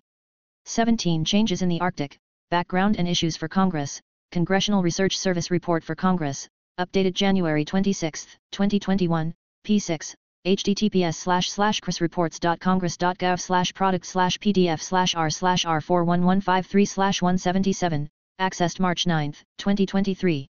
18 U.S. Department of Homeland Security, Science and Technology, Snapshot, Overcoming the Tyranny of Distance in the Arctic, April 20, 2020, https slash slash www.dhs.gov slash science and technology slash news slash 2020 slash 04 slash 20 slash snapshot overcoming tyranny distance arctic accessed february 9 2023 19 u.s department of state u.s contributions to international organizations 2021 september 20 2022 https slash slash www.state.gov slash us contributions to international organizations 2021 slash accessed March 9, 2023, and U.S. Department of State, U.S. Contributions to International Organizations, 2015, November 1, 2016, https slash slash www.state.gov slash us contributions to international organizations 2015 slash accessed March 9, 2023. 20 U.S. Department of State, Report on the Commission of Inalienable Rights, https slash slash www.state.gov slash wp content slash upload slash 2020 slash 07 slash draft report of the Commission on Unalienable Rights.pdf, accessed March 9, 2023. 21 Geneva Consensus Declaration on Promoting Women's Health and Strengthening the Family, October 22, 2021, https slash slash www.thewhite.org slash wp content slash upload slash 2022 slash 02 slash gcd declaration 2021-2.pdf, accessed March 13, 2023. 22 U.S. Commission on National Security, Roadmap for National Security. 23 U.S. Department of State, Organization Chart, November 2004, https slash slash 2009-2017.state.gov slash s slash d slash rm slash rls slash perforp slash 2004 slash html slash 39764.htm, accessed March 9, 2023, U.S. Department of State, Organization Chart, November 2016, https slash slash 2009-2017.state.gov slash documents slash organization slash 263637.pdf, accessed March 9, 2023, U.S. Department of State, Organization Chart, February 2020, https slash slash 2017-2021.state.gov slash wp content slash upload slash 2021 slash 01 slash department org chart feb 2020-508.pdf, accessed March 9, 2023, U.S. Department of State, DOS org chart August 2021, August 2021, https slash slash www.state.gov slash Department of State Organization Chart slash DOS org chart August 2021 slash accessed March 9, 2023, and U.S. Department of State, Organization Chart, May 2022, https slash slash www.state.gov slash wp content slash upload slash 2022 slash 05 slash DOS org chart 5052022 non-accessible.pdf, accessed March 9, 2023. 24 Emily O. Goldman, Cyber Diplomacy for Strategic Competition, Fresh Thinking and New Approaches are Needed on Diplomacy's Newest Frontier, Foreign Service Journal, June 2021, http slash cyber diplomacy strategic competition, accessed March 9, 2023. 25 Emily Goldman, From Reaction to Action, Adopting a Competitive Posture in Cyber Diplomacy, Texas National Security Review, Volume 3, Number 4, Fall 2020, https slash slash tnsr.org slash wp content slash upload slash 2020 slash 09 slash tnsr vol 3 iss 4 goldman.pdf, accessed March 9, 2023. 26 United Nations General Assembly, Group of Government Experts on Advancing Responsible State Behavior in Cyberspace in the Context of International Security, A 76 135, July 14, 2021, https slash slash front.unarmed.org slash wp content slash upload slash 2021 slash 08 slash a underscore 76 underscore 135 dash 2104030e1.pdf, accessed March 10, 2023. 27 Goldman, Cyber Diplomacy. Warning, empty page. 7. Intelligence. Community. Dustin J. Carmack. Mission Statement to arm a future incoming conservative president with the knowledge and tools necessary to fortify the United States intelligence community, to defend against all foreign enemies and ensure the security and prosperity of our sovereign nation, devoid of all political motivations, and to maintain constitutional civil liberties. Overview The United States intelligence community, IC, is a vast, intricate bureaucracy spread throughout 18 independent and cabinet subagencies. Point 1 According to the Office of the Director of National Intelligence, ODNI, the IC's mission is to collect, analyze, and deliver foreign intelligence and counterintelligence information to America's leaders so they can make sound decisions to protect our country. 2. An incoming conservative president needs to use these intelligence authorities aggressively to anticipate and thwart our adversaries, including Russia, Iran, North Korea, and especially China, while maintaining counterterrorism tools that have demonstrated their effectiveness. This means empowering the right personnel to manage, build, and effectively execute actions dispersed throughout the IC to deliver intelligence in an ever-challenging world. It also means removing redundancies.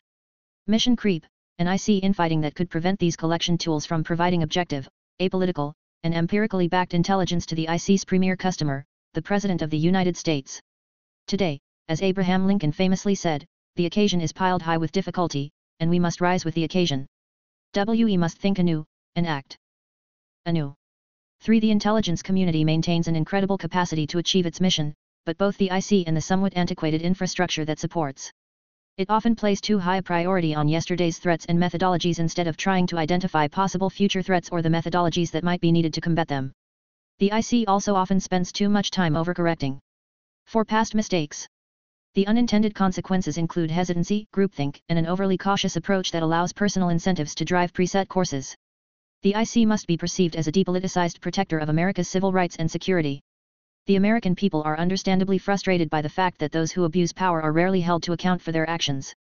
This must change, beginning with leadership that is both committed to ensuring that these agencies faithfully execute the laws of the land under the Constitution and resolved to punish and remove any officials who have abused the public trust.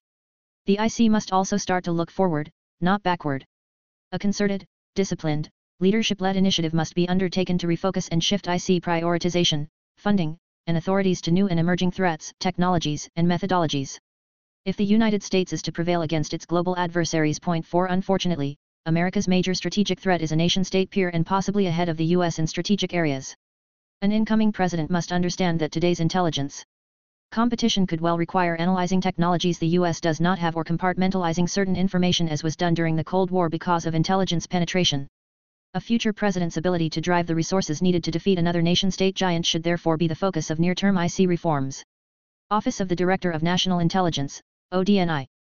The ODNI was established in the aftermath of the attacks on September 11 and intelligence failures leading up to the 2003 U.S. war in Iraq. The office and its functions stem from authorities established under executive orders promulgated by President George W. Bush in 2004, followed by statutory authorizations in the Intelligence Reform and Terrorism Prevention Act of 2004, IRTPA, Point 5. Proponents of an ODNI hope to establish reforms similar to the Goldwater-Nichols Department of Defense, DOD, reforms of the 1980s, which identified recurring problems within DoD's command and control architecture and led to unified combatant commands with the chairman of the Joint Chiefs of Staff as the senior ranking member of the armed forces and principal military advisor to the president. The ODNI was envisioned as a small but powerful IC coordinating agency led by a Director of National Intelligence, DNI. As the President's principal intelligence advisor, the DNI would lead and provide oversight of the President's intelligence authorities while wielding a cudgel budget and appointment authorities to break institutional silos that had caused past intelligence integration failures. Originally envisioned by the 9/11's Commission as a strengthened, authoritative position, the final congressionally negotiated product signed by President Bush has led to ambiguous and vague authorities that are dependent on who is selected as DNI and Central Intelligence Agency, CIA, director and their level of support from the White House and National Security Council, NSC.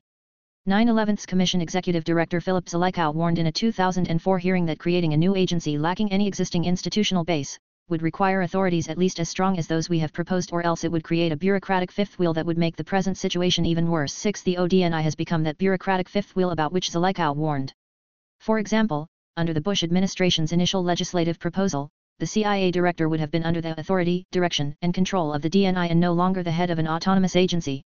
Additional mechanisms envisioned full budget authority for the DNI, including within DoD's intelligence components, as opposed to coordinating authority.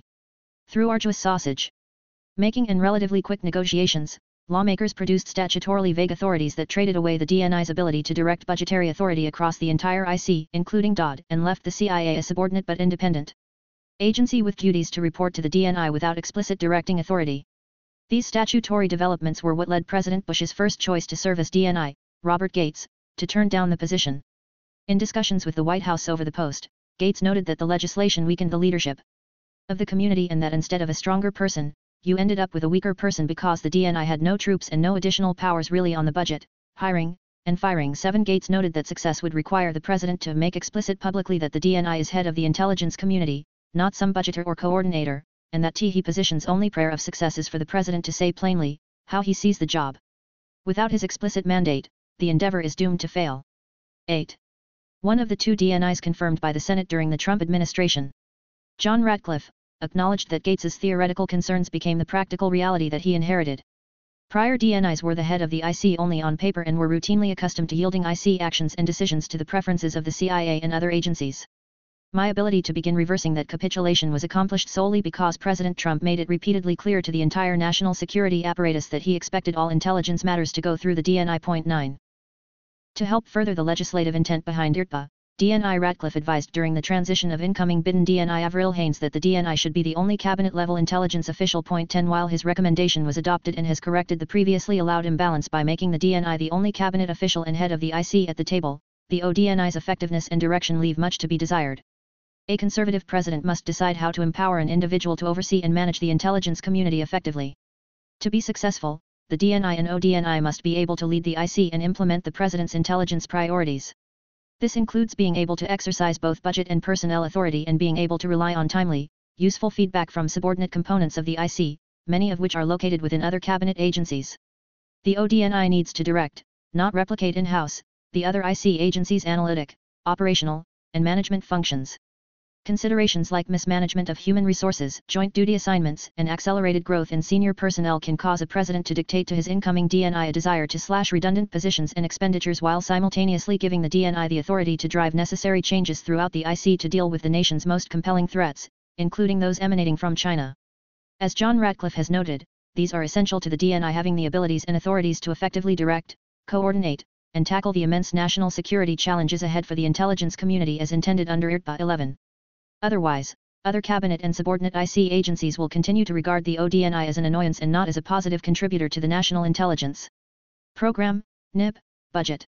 They will continue to work around or circumvent ODNI leadership decisions with appropriators and the Office of Management and Budget, OMB, or seek to wait out an administration or DNI to prevent a policy or intelligence priority from reaching fruition.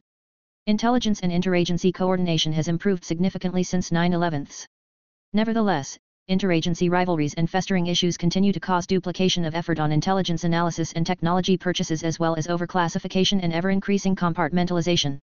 Additional issues include the abuse of mandated onboarding approval and reciprocity timelines by some agencies, recruitment and retention failures, and a lack of will to remove underperforming or timely adjudicate the misconduct of senior managers and other employees. Finally, future IC leadership must address the widely promoted woke culture that has spread throughout the federal government with identity politics and social justice advocacy replacing such traditional American values as patriotism, colorblindness, and even workplace competence. Executive Order 12333 IRTPA was passed in the aftermath of the 9-11 attacks against the homeland.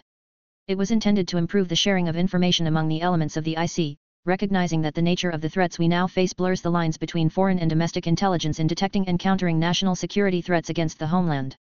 An equally important objective in passing the most significant intelligence reform since the National Security Act of 194712 was creation of the position of DNI, charged with assuming two of the three principal roles that formerly belonged to the Director of Central Intelligence, DCI serving as principal intelligence advisor to the president and leading the IC as an enterprise.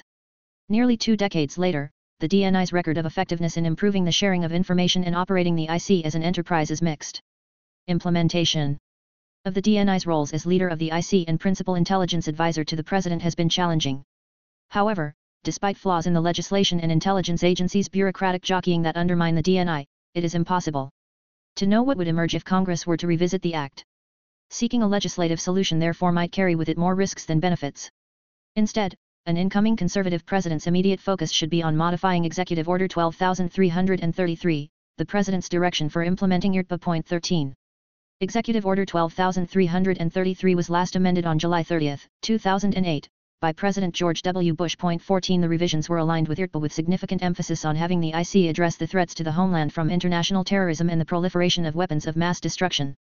There is scant mention of cyber threats and the evolving national security challenges posed by China, Russia, and other U.S. adversaries. By extension, the revised order fell short of stipulating how the DNI would execute his authority to organize the IC in a manner that improves the delivery of timely intelligence to a wide array of customers. Executive Order 12333 should be amended to take account of the changing landscape of threats and improve the functional aspects of America's intelligence enterprise. To that end, a revised order should L address the threats to the United States and its allies in cyberspace. These threats range from cyber warfare to information operations. The amended order should clearly delineate the roles and responsibilities of the various U.S. government cyber missions, including the recently created National Cyber Director's Office and power centers at the NSC, while protecting the privacy and civil liberties of U.S. citizens. Under the DNI's direction, the cyber mission should explicitly identify how information in the cyber domain will be shared promptly with the warfighters, from law enforcement agencies to the broader IC and state local, and tribal elements. The order should consider stipulating what to do with DoD cyber agencies, most notably the NSA, in terms of strategic, for example, the President and the DNI, versus tactical support, for example, support for the warfighter, in conjunction with ongoing congressionally mandated reviews of the future dual-hatted relationship. L. Enhance the DNI's role in overseeing execution of the National Intelligence Program budget under the President's authority. This should be done in a manner that is consistent with Congress's intent as embodied in IRTPA. Under the executive order as written today, the DNI shall oversee and direct the implementation of the National Intelligence Program. In practice, the DNI's authority to oversee execution of the IC's budget remains constrained by an inability to address changing intelligence priorities and mandate the implementation of appropriated NIP funding to higher intelligence priorities. The DNI should have the President's direction to address emerging but catastrophic threats such as those posed by bioweapons. Clarifying how much budget authority the DNI has in conjunction, within the limits of congressional appropriations, with OMB and IC member cabinet officials to move around money and personnel is crucial, but positions will not always be fungible. It will probably be necessary to hold IC leadership accountable at intransigent agencies and to restructure areas through executive orders in close conjunction with OMB, as needed. L. Clarify the DNI's role as leader of the IC as an enterprise in building the IC's capabilities around its open source collection and analytic missions. The exponential growth in open source information, often called OSINT, is not disputed. In the IC, the use of publicly available information, notwithstanding the authorities within IRTPA for the DNI to manage OSINT, remains disaggregated. The explosion of private sector intelligence products and expertise should signal to IC leadership that duplicative efforts are unnecessary and that limited resources should be focused on problematic collection tasks. The IC should avoid duplication of what is already being done well in the private sector and focus instead on complex questions that cannot be answered by conventional and frequently increasing numbers of commercial tools and capabilities. If necessary, for lack of results from the National Open Source Committee, the DNI should appoint the Principal Deputy Director of National Intelligence, PNI, as chairman to prioritize and promote accountability for the IC's 18 agencies toward this effort. L. Prioritize security clearance reform. Security clearance reform has made significant progress under Trusted Workforce 2.0, a government-wide background investigation reform that was implemented beginning in 2018 with the goal of creating one system with reciprocity across organizations. This included allowing movement from periodic re-investigations toward a continuous vetting, CV, program with automated records checks, adjudication of flags, the mitigation of personnel security situations before they become a larger problem, or the suspension or revocation of clearances. Point 15 However, human resources onboarding operations in major agencies such as the CIA, FBI, and NSA remain to be resolved. As executive agent for security clearances, the DNI must require results from agencies that resist implementation, enforce the 48-hour reciprocity guidance, and target human resources operations that fail to attract and expediently onboard qualified personnel. Additional carrots and sticks from executive order reform language, including moving the Security Services Directorate from NCSC to ODNI with elevated status, may be necessary. It is unacceptable for agencies to hinder opportunities for cross-agency assignments, use public-private partnerships inefficiently because of constraints on the transferability of security clearances, and lose future talent because of extraordinary delays in back-end operations. Proper vetting to speed the onboarding of personnel with much needed expertise is vital to the IC's future. L. Ensure the DNI's authority. The DNI's authority should be similar to an orchestra conductor's. An incoming conservative president will appoint whomever he chooses as DNI, but there should be agreement between the incoming DNI and President with advice and counsel from the Presidential Personnel Office on selecting positions overseen by the DNI throughout subordinate agencies, as well as concurrence by relevant cabinet officials in the CIA. This exists by executive order, but many presidents, PPOs, and cabinet agency heads do not follow executive order guidance and necessary norms. The importance of trust, character, and the ability to work together to achieve a joint set of intelligence goals established by the president cannot be overstated, it is a mission that can be accomplished only with the conductor and his orchestra playing in sync. L provide additional support for such economic and supply chain focused agencies as the Department of Commerce. Information sharing and feedback can help subagencies like the Commerce Department's Bureau of Industry and Security to improve their understanding of the threat from China and thereby counter it more effectively. They can also aid the development of export control mechanisms and potential outbound investment screening where necessary. Brief, specific governance language should be considered that would apply counter-terrorist authority models to the broader functions of the U.S. government insofar as they are needed to counter 21st century nation-state threats. The success of any DNI rests with support from the President. Any revised Executive Order 12333 must serve to express unequivocal support for the DNI in executing the mandates that an amended order would provide. Central Intelligence Agency, CIA. The CIA is a foreign intelligence collection service tasked with collecting human intelligence, HUMINT, providing all source intelligence analysis and reporting, and conducting covert action when required to do so by the President. The CIA has its roots in the Office of Strategic Services, OSS, which the United States established during World War II as a paramilitary and intelligence collection organization. After World War II, President Harry Truman disbanded the OSS, and the CIA was established in law by the National Security Act of 1947. As with every agency in government, the President's election sets a new agenda for the country. Public servants must be mindful that they are required to help the President implement that agenda while remaining apolitical, upholding the Constitution and laws of the United States, and earning the public trust.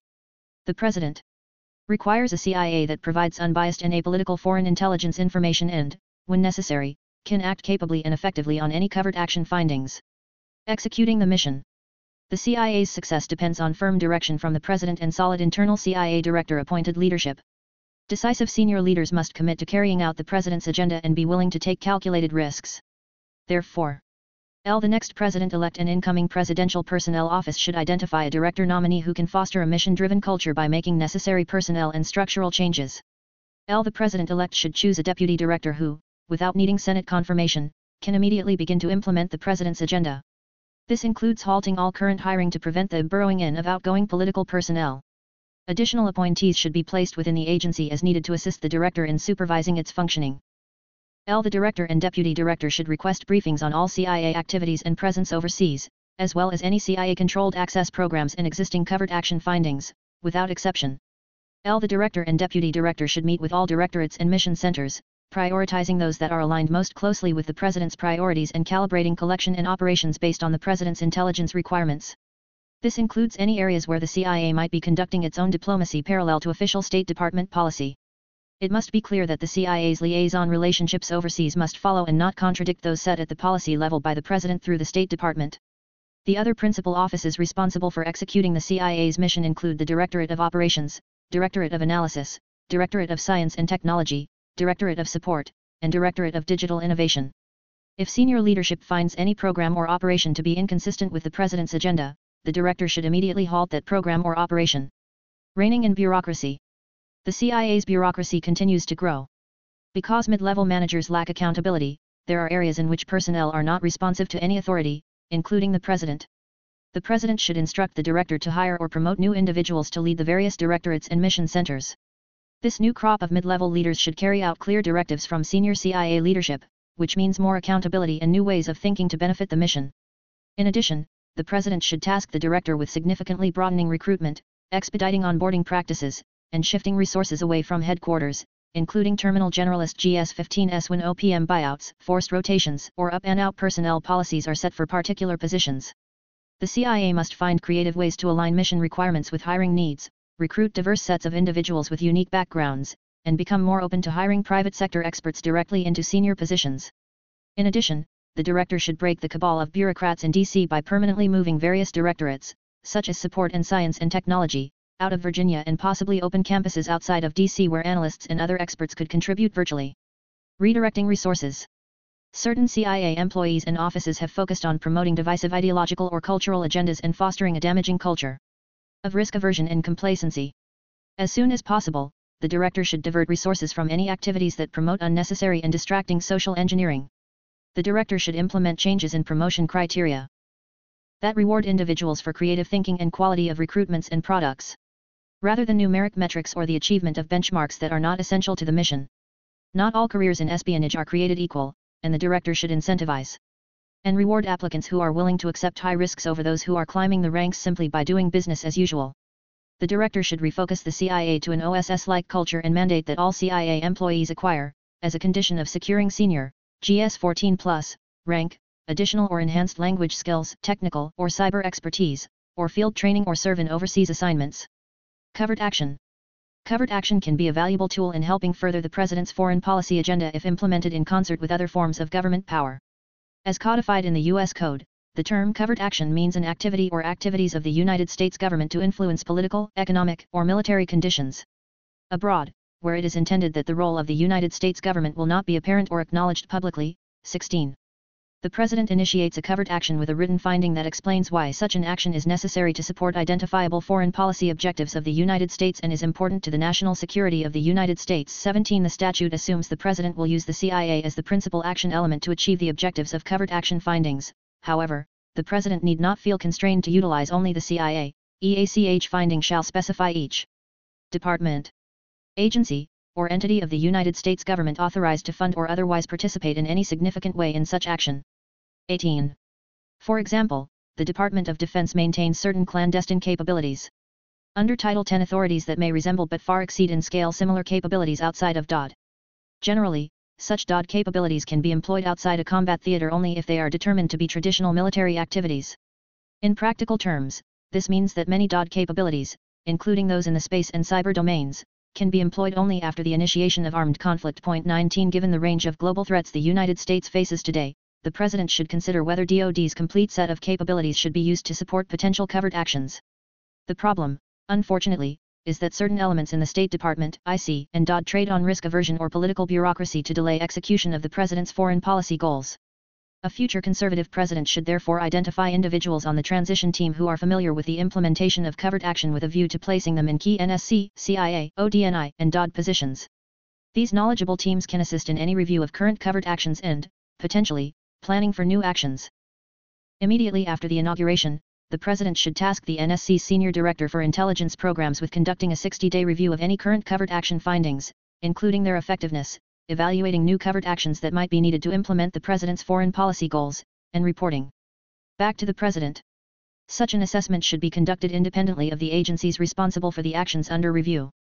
As part of the review, the Senior Director for Intelligence Programs should identify which departments or agencies, such as the CIA or DOD, are best equipped to achieve the objectives set out in new and existing findings. After the 60-day review, the President should demand creative thinking and a clear strategy as to how covert action fits within the President's broader foreign policy strategy, to include possibly modifying or rescinding any current findings, drafting new findings, and streamlining or eliminating needless bureaucracy, particularly at state, to facilitate more expeditious decisions on tactical covert action. Careful thought should be given to the metrics by which the effectiveness of covert action programs will be measured to ensure the appropriate use of government resources and to guard against the possibility of covert actions being used with little scrutiny in ways that are inconsistent with overt foreign policy goals. ODNI and CIA Organizational Recommendations The ODNI and CIA operate under authority provided by the Central Intelligence Agency Act of 1949-20 which means they have greater latitude than the rest of the federal government with respect to the hiring and firing of personnel. Both organizations and other areas of the IC have struggled from a human resources and talent management standpoint to recruit, onboard, and maintain personnel in a timely fashion to fill the IC's ever-changing needs. At a time when the intelligence community needs significantly more personnel with the proper technical, language-capable, and diverse backgrounds, including applicants from elements of the business community, the incoming directors of both agencies need to make this effort a top priority. Past DNI's chiefs of staff and additional front office staff historically have come from outside the IC, commonly under a misconstrued staff reserve structure that is intended to avoid a Schedule C designation within the IC. The director should handpick qualified, properly cleared personnel for front office and managerial leadership positions, such as the DNI's chief of staff and heads of legislative affairs and strategic communications, to oversee those divisions with career IC staff reporting to them. The incoming DNI and CIA director should also consider changes in the Senior National Intelligence Service, SNIS, slash Senior Intelligence Services, SIS. Senior officers should be required to sign mobility agreements that allow ODNI and CIA leadership to move them within the IC every two years if necessary. Many qualified and distinguished senior officers serve throughout the IC, but some long-serving generalist officers no longer perform at a high capacity, are management-driven, do not serve the IC's changing needs, and limit junior officers' prospects for growth and advancement. An incoming administration should consider studying and implementing additional requirements as a condition for promotion to GS15/SNIS/SIS and explore concepts such as up and out beginning at the GS14/15 levels and above for some fields. The IC should evaluate areas of bloat and underperforming cadre and work with OPM on authority for voluntary separation buyouts. Allowing ODNI and CIA leadership to shrink size and reduce duplication of effort while promoting healthy turnover within their senior ranks would encourage new ideas and perspectives from mid-career officers and, potentially, from employees hired from outside their agencies. The ODNI and CIA should maximize their direct hire and incentive. Building authorities to bring in talented and properly cleared individuals to serve in positions requiring technical, language, and cyber expertise. Finally, the human resources and talent management systems for onboarding purposes at the ODNI, CIA, and some other elements of the IC are fundamentally broken. For example, according to current CIA Director William Burns, it recently took more than 600 days, on average, for a CIA applicant to receive his or her necessary security clearance. Point 21 Although security clearance procedures have been somewhat improved in recent years and Burns has committed CIA to reducing that to no more than 180 days, degradation in other areas of the process has limited the IC's capacity to attract qualified and needed expertise. Preventing the abuse of intelligence for partisan purposes. The intelligence function must be protected from bottom-up and top-down politicization if it is to play its proper role in our national security decision-making process. Unfortunately, both types of politicization have occurred recently to the detriment of the intelligence community's reputation and credibility. More important, the politicization of intelligence risks contributing to policy failures. As we saw with the Iraq War, or even undermining our democratic system here at home. In particular, the IC must restore confidence in its political neutrality to rectify the damage done by the actions of former IC leaders and personnel regarding the claims of Trump-Russia collusion following the 2016 election and the suppression of the Hunter Biden laptop investigation and media revelations of its existence during the 2020 election. But the problem is not confined to the executive branch struggle between the IC and policymakers, it also relates to the IC's relationship with Congress as evinced by DNI James Clapper's failure to answer honestly in response to congressional questions about government surveillance programs the ODNI and CIA are undergoing a crisis of confidence based on several factors. First, President Barack Obama's CIA director, John Brennan, gravely damaged the CIA by minimizing the Directorate of Operations and exploiting intelligence analysis as a political weapon after he left office.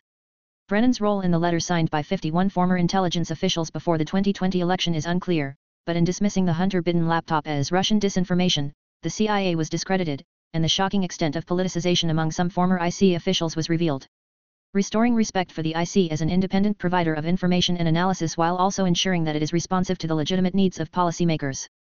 Will require reinforcing essential norms and institutions. However, we should also recognize that achieving the perfect balance that avoids the pathologies of too much distance or too much closeness and responsiveness to policymakers is not only difficult, but probably impossible. Point 22 Thus, given the very nature of the business and the political process, much will depend on the promotion of certain norms or virtues on both sides of the principal-agent relationship specifically. L. The DNI and CIA director should use their authority under the National Security Act of 1947 to expedite the clearance of personnel to meet mission needs and remove IC employees who have abused their positions of trust.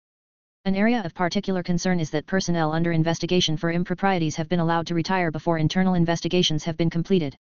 Directors of both agencies must instill further confidence in their workforces, Congress, and the American people that they can and will deal effectively with personnel that fail to live up to their oath to the Constitution, adhere to ethical and moral standards as expected by America's taxpayers, and faithfully execute the law. L. The President should direct the DNI and the Attorney General, by direction of the respective Inspectors General and IC Analytic Ombudsman, to conduct a further audit of all IC equities of past politicization and abuses of intelligence information. For example, a recent IC Ombudsman analysis during the 2020 election cycle noted, if our political leaders in the White House and Congress believe we are withholding intelligence because of organizational turf wars or political considerations, the legitimacy of the intelligence community's work is lost 23. L. The President should immediately revoke the security clearances of any former directors, deputy directors, or other senior intelligence officials who discuss their work in the press or on social media without prior clearance from the current director. IC agencies, including the CIA, should minimize their public presence and vigorously investigate any and all leaks of information, classified or otherwise. The ODNI and CIA should fire or refer for prosecution any employee who is suspected of leaking information, and penalties should include the removal of pension benefits for those who are found guilty. Additional tools are needed to prevent leaked intelligence from being used as a weapon in policy debates by IC leaders or decision makers in the executive branch or Congress. L. In addition, the Department of Justice should use all of the tools at its disposal to investigate leaks and should rescind damaging guidance by Attorney General Merrick Garland that limits investigators' ability to identify records of unauthorized disclosures of classified information to the media. Personnel have sufficient access to legitimate whistleblower claims under protections provided by inspectors general and Congress the Director and IC must prioritize hiring additional counterintelligence and security personnel to assist in this effort. L. Military and civilian IC training should include stronger emphasis on the norm of political neutrality, including a mandatory course on professionalism and repercussions for abuse in the execution of duties in all degree programs at the National Intelligence University. L. Intelligence leaders need to model norms of neutrality and respect for the decision-making authority of the President, appointed officials, and Congress. This includes building trust with key decision makers by not using their positions and privileged access to information to influence policymaking indirectly or directly in an inappropriate fashion, especially by engaging in threat inflation. IC leaders should practice extreme restraint in engaging with the public and the media. They should seek to work in the shadows rather than in the limelight. Potential restrictions on such appearances could supplement this norm, preventing political leaders from using IC officials to support an administration position as they do with military leaders. L. Retired IC leaders should similarly support the neutrality norm by not becoming public figures. L. Congress should not use IC leaders as pawns in policy struggles with the President or the other party during their appearances before committees of the House and Senate. While Congress has a proper oversight role, it should distinguish between information that needs to be public and information that should be discussed in private with members of the IC. ADNI should call balls and strikes to those on both sides of the aisle on Capitol Hill who attempt to weaponize the use of selective intelligence to feed political narratives. L. Political leaders should avoid manipulation by appointment, a practice by which intelligence leaders are selected for their policy views or political loyalties instead of their skilled expertise. Point 24 Presidents should also avoid public rebukes and pressure from the intelligence profession, which can include intimidation and bullying, to shape IC analysis. This will be easier if IC leaders live by the norms of neutrality and thus are not seen as political actors, for whom political responses are deemed necessary. L. Intelligence leaders and professionals should never cook the books for presidents or change or shape their analysis to preserve access or status. Point 25. Foreign Intelligence Surveillance Act, FISA. A future president should understand the importance of FISA 26 while also seeking reforms and accountability for any abuses of its authorities. When discussing FISA and what changes may need to be made, it is important to note and recognize that there are stark differences among the individual FISA authorities. Section 702 of FISA, for example, allows the IC to target foreign terrorists, spies, cyber hackers, and other bad actors, but only if they are non-U.S. persons, when their communications pass through the United States. While this authority may lapse if Congress does not resolve the issue by the end of 2023, Section 702 should be understood as an essential tool in the fight against terrorism, malicious cyber actors, and Chinese espionage. These are two major national security priorities for an incoming president, and it is imperative that the need to use properly maintained and accountable authorities to counter these challenges be recognized. Section 702 is a vital program that often provides the lion's share of intelligence used in the President's Daily Brief, PDB. Point 27 An independent review by the Privacy and Civil Liberties Oversight Board, PCLOB, found that it was not abused. Nevertheless, Congress should review the PCLOB's upcoming 2023 report to help it determine whether any reforms or codification of recent administrative changes in FISA processes are needed. Other authorities in Title I and Title III, often referred to as traditional FISA, have elicited valid concerns about the politicization of intelligence collection authority in recent years. When seeking surveillance of Trump campaign advisor Carter Page, for example, the FBI and the Department of Justice concealed vital information from a specialized court and submitted applications that were riddled with errors. An incoming conservative president should consider reforms designed to prevent future partisan abuses of national security authority. A package of strong provisions to protect against such partisanship might include L. Stiffer penalties and mandatory investigations when intelligence leaks are aimed at domestic political targets. L. Tighter controls on otherwise lawful intercepts that also collect the communications of domestic political figures. L. An express prohibition on politically motivated use of intelligence authorities, and L. Reforms to improve the accountability of the Justice Department and the Foreign Intelligence Surveillance Court. To keep intelligence credentials from being used for partisan purposes, former high-ranking intelligence officials who retain a clearance should remain subject to the Hatch Act after they leave government to deter them from tying their political stance or activism to their continuing privilege of access to classified government information. The IC should be prohibited from monitoring so-called domestic disinformation.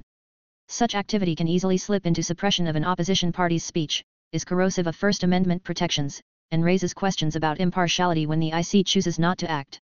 China-focused changes, reforms, and resources. The term whole of government is all too frequently overused, but in responding to the generational threat posed by the Chinese Communist Party, that is exactly the approach that our national security apparatus should adopt. CIA Director William Burns has formally established a China Mission Center focused on these efforts, but it can be successful only if it is given the necessary personnel, cross-community collaboration, and resources. That is uncertain at this point, and just how seriously the organization is taking the staffing of the center is unclear. A critical strategic question for an incoming administration and IC leaders will be, how, when, and with whom do we share our classified intelligence? Understanding when to pass things to liaisons and for what purpose will be vital to outmaneuvering China in the intelligence sphere. Questions for a president will include L. What is our overarching conception of the adversarial relationship and competition?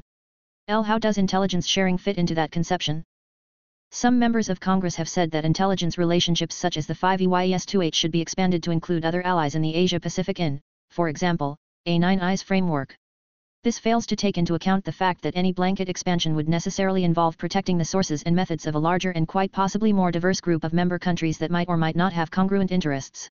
That being said, however, a future conservative president should consider what resources and information sharing relationships could be included in an ad hoc or quasi-formal intelligence expansion, for example, with the Quad, among nations trying to counter the threat from China.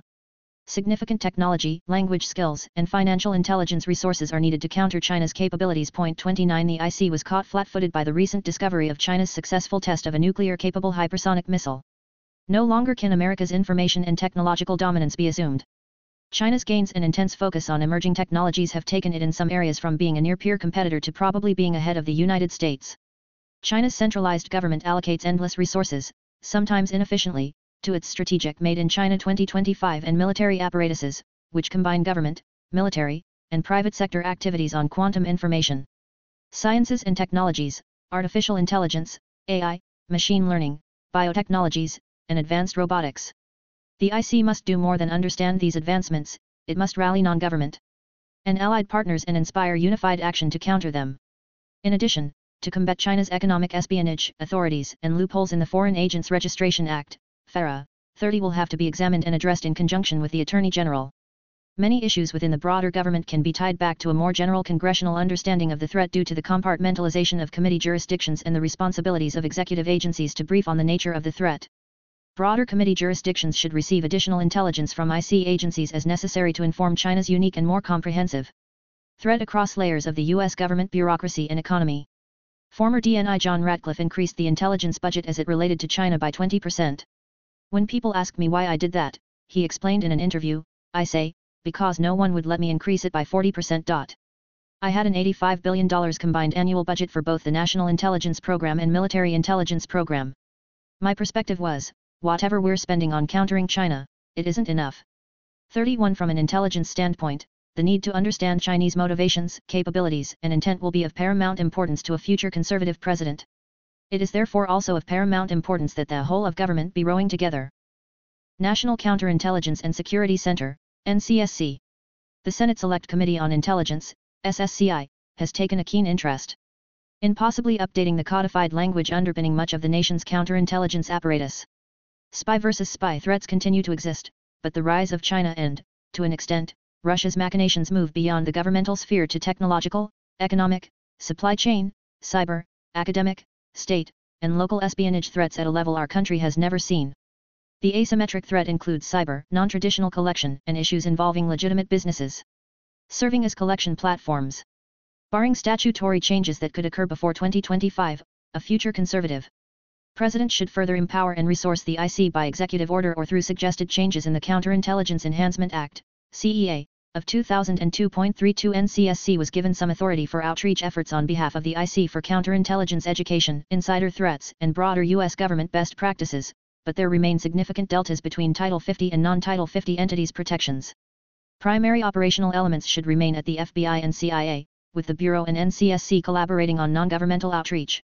While there is no need to create a separate agency, a future president and DNI should amplify NCSC's authorities and roles with respect to counterintelligence strategy, policy, outreach, and governance, including supporting necessary joint duty assignments, JDA, for FBI and CIA personnel. At the same time, the FBI requires significant additional resources and legal authorities to fulfill its statutory role as the lead operational counterintelligence agency in dealing with the ever-growing threats posed by our adversaries. The CEA should be updated to include foreign espionage efforts aimed at universities.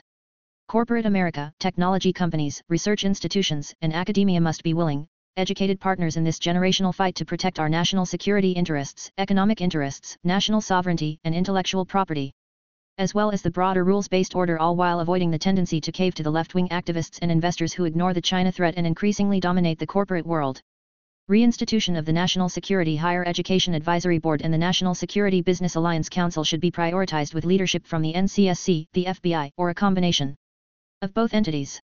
When the CCP steals at least $400 billion $600 billion in intellectual property each year, it is time to devote some strategic thinking to exactly how and to what degree counterintelligence efforts can help to protect America's commercial endeavors. If Chinese strategic technology gains are happening almost entirely in transnational commercial space, for example, and the private sector is also gathering and analyzing some critical intelligence, these essential data points should assist in national level counterintelligence efforts. The NCSC was created in the aftermath of 9-11 as the Terrorist Threat Integration Center, TTIC, which later became the National Counterterrorism Center, NCTC, pursuant to President George W. Bush's Executive Order 13354.33 the NCTC was an organization of approximately three dozen detailees from across the U.S. government with a mandate to integrate counterterrorism intelligence and missions, including terrorist screening. Eventually, in November 2014 the Director of National Intelligence, DNI, established NCSC by combining the Office of the National Counterintelligence Executive with the Center for Security Evaluation, the Special Security Center and the National Insider Threat Task Force, to effectively integrate and align counterintelligence and security mission areas under a single organizational construct. The Director of NCSC serves in support of the DNI's role as Security Executive Agent, SECEA, to develop, implement, oversee, and integrate personnel security initiatives throughout the U.S. government. 34. NCSC has added value in such areas as fusing cross-community intelligence for terrorism watch listing purposes and improving information sharing while carrying roughly half of the overall cadre for the ODNI. An incoming administration should focus NCTC on integrative tasks, many of which cannot be carried out elsewhere in the IC, but should not use personnel and resources for redundant analyses that duplicate the work of such other IC entities as the FBI and CIA. Additional areas for reform. Analytical integrity. The tradecraft of intelligence analysis is mostly a collection of lessons learned over decades about what works and does not work in a profession whose high-stakes work is performed by thousands but that also bears little outside scrutiny and provides few metrics by which to gauge success or failure on a regular basis. These lessons have accumulated from L. The perceived misuse of intelligence by consumers as was the case with respect to war-related assessments in the Johnson and Bush administrations. L. Failures such as the failures to warn of the collapse of the Soviet Union and the specific threat of 9-11ths. L successes in piecing together tactical and often technical puzzles such as estimates of Iranian nuclear program maturation, and L strategic victories such as anticipating critical geopolitical developments that have been years in the making. Historically, this tradecraft has been passed on in the form of unwritten rules learned on the job and in agency-specific training classes, but increasingly since the intelligence reforms of 2004, they have been codified IC-wide under the direction of the Deputy Director of National Intelligence for Mission Integration. A RAND study of U.S. intelligence tradecraft notes that the vast majority of intelligence analysts reside outside the Central Intelligence Agency and do work that is tactical, operational, and current. 35 The study goes on to note that the Defense Intelligence Agency, DIA, has as many analysts as the CIA has and that the National Security Agency, NSA, has several times as many analysts, as does the National Geospatial Intelligence Agency, NGA, indicating both the breadth of the IC's technical collection and its emphasis both on developing analysts who can interpret secret human or technical intelligence in quick turnaround pieces and on countering tactical, asymmetric threats like terrorism. During the Cold War, however, there was a more balanced analytic focus with greater emphasis on strategic intelligence issues as a means of outcompeting the Soviet Union. This kind of analysis deals not only in secrets, but also in mysteries.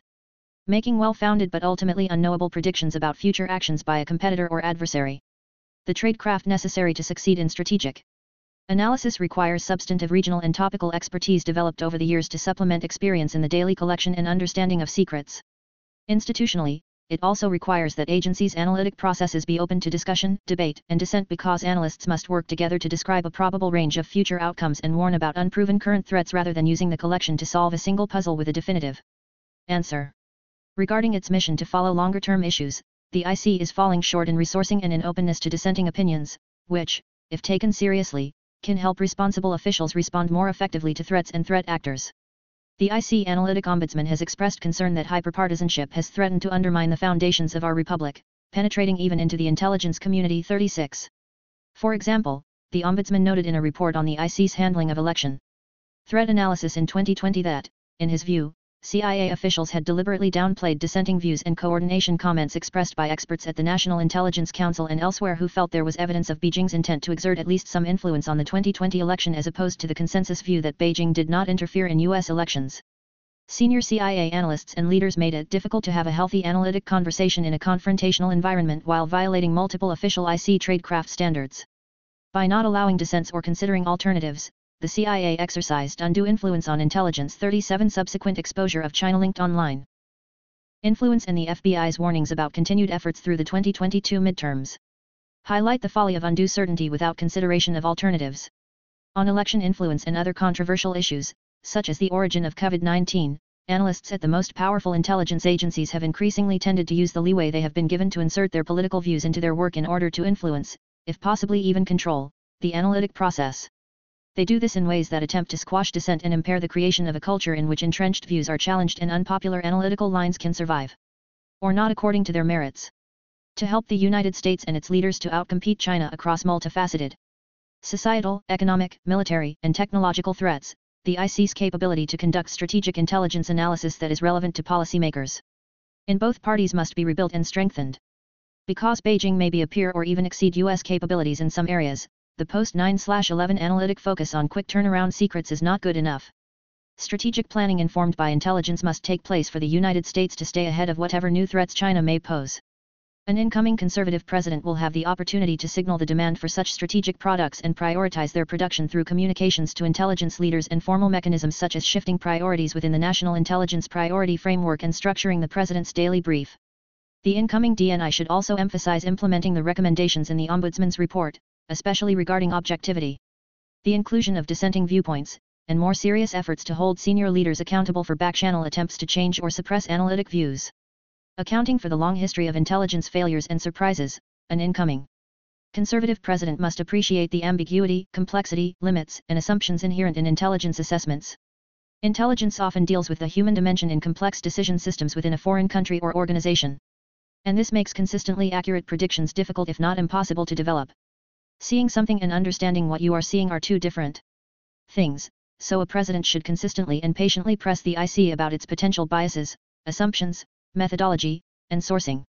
With regard to election threat analysis and politically controversial topics, agency leaders should take seriously the Ombudsman's admonition that we need to maintain tradecraft standards across all countries and topics by ensuring that equitable standards apply across all foreign threat actors.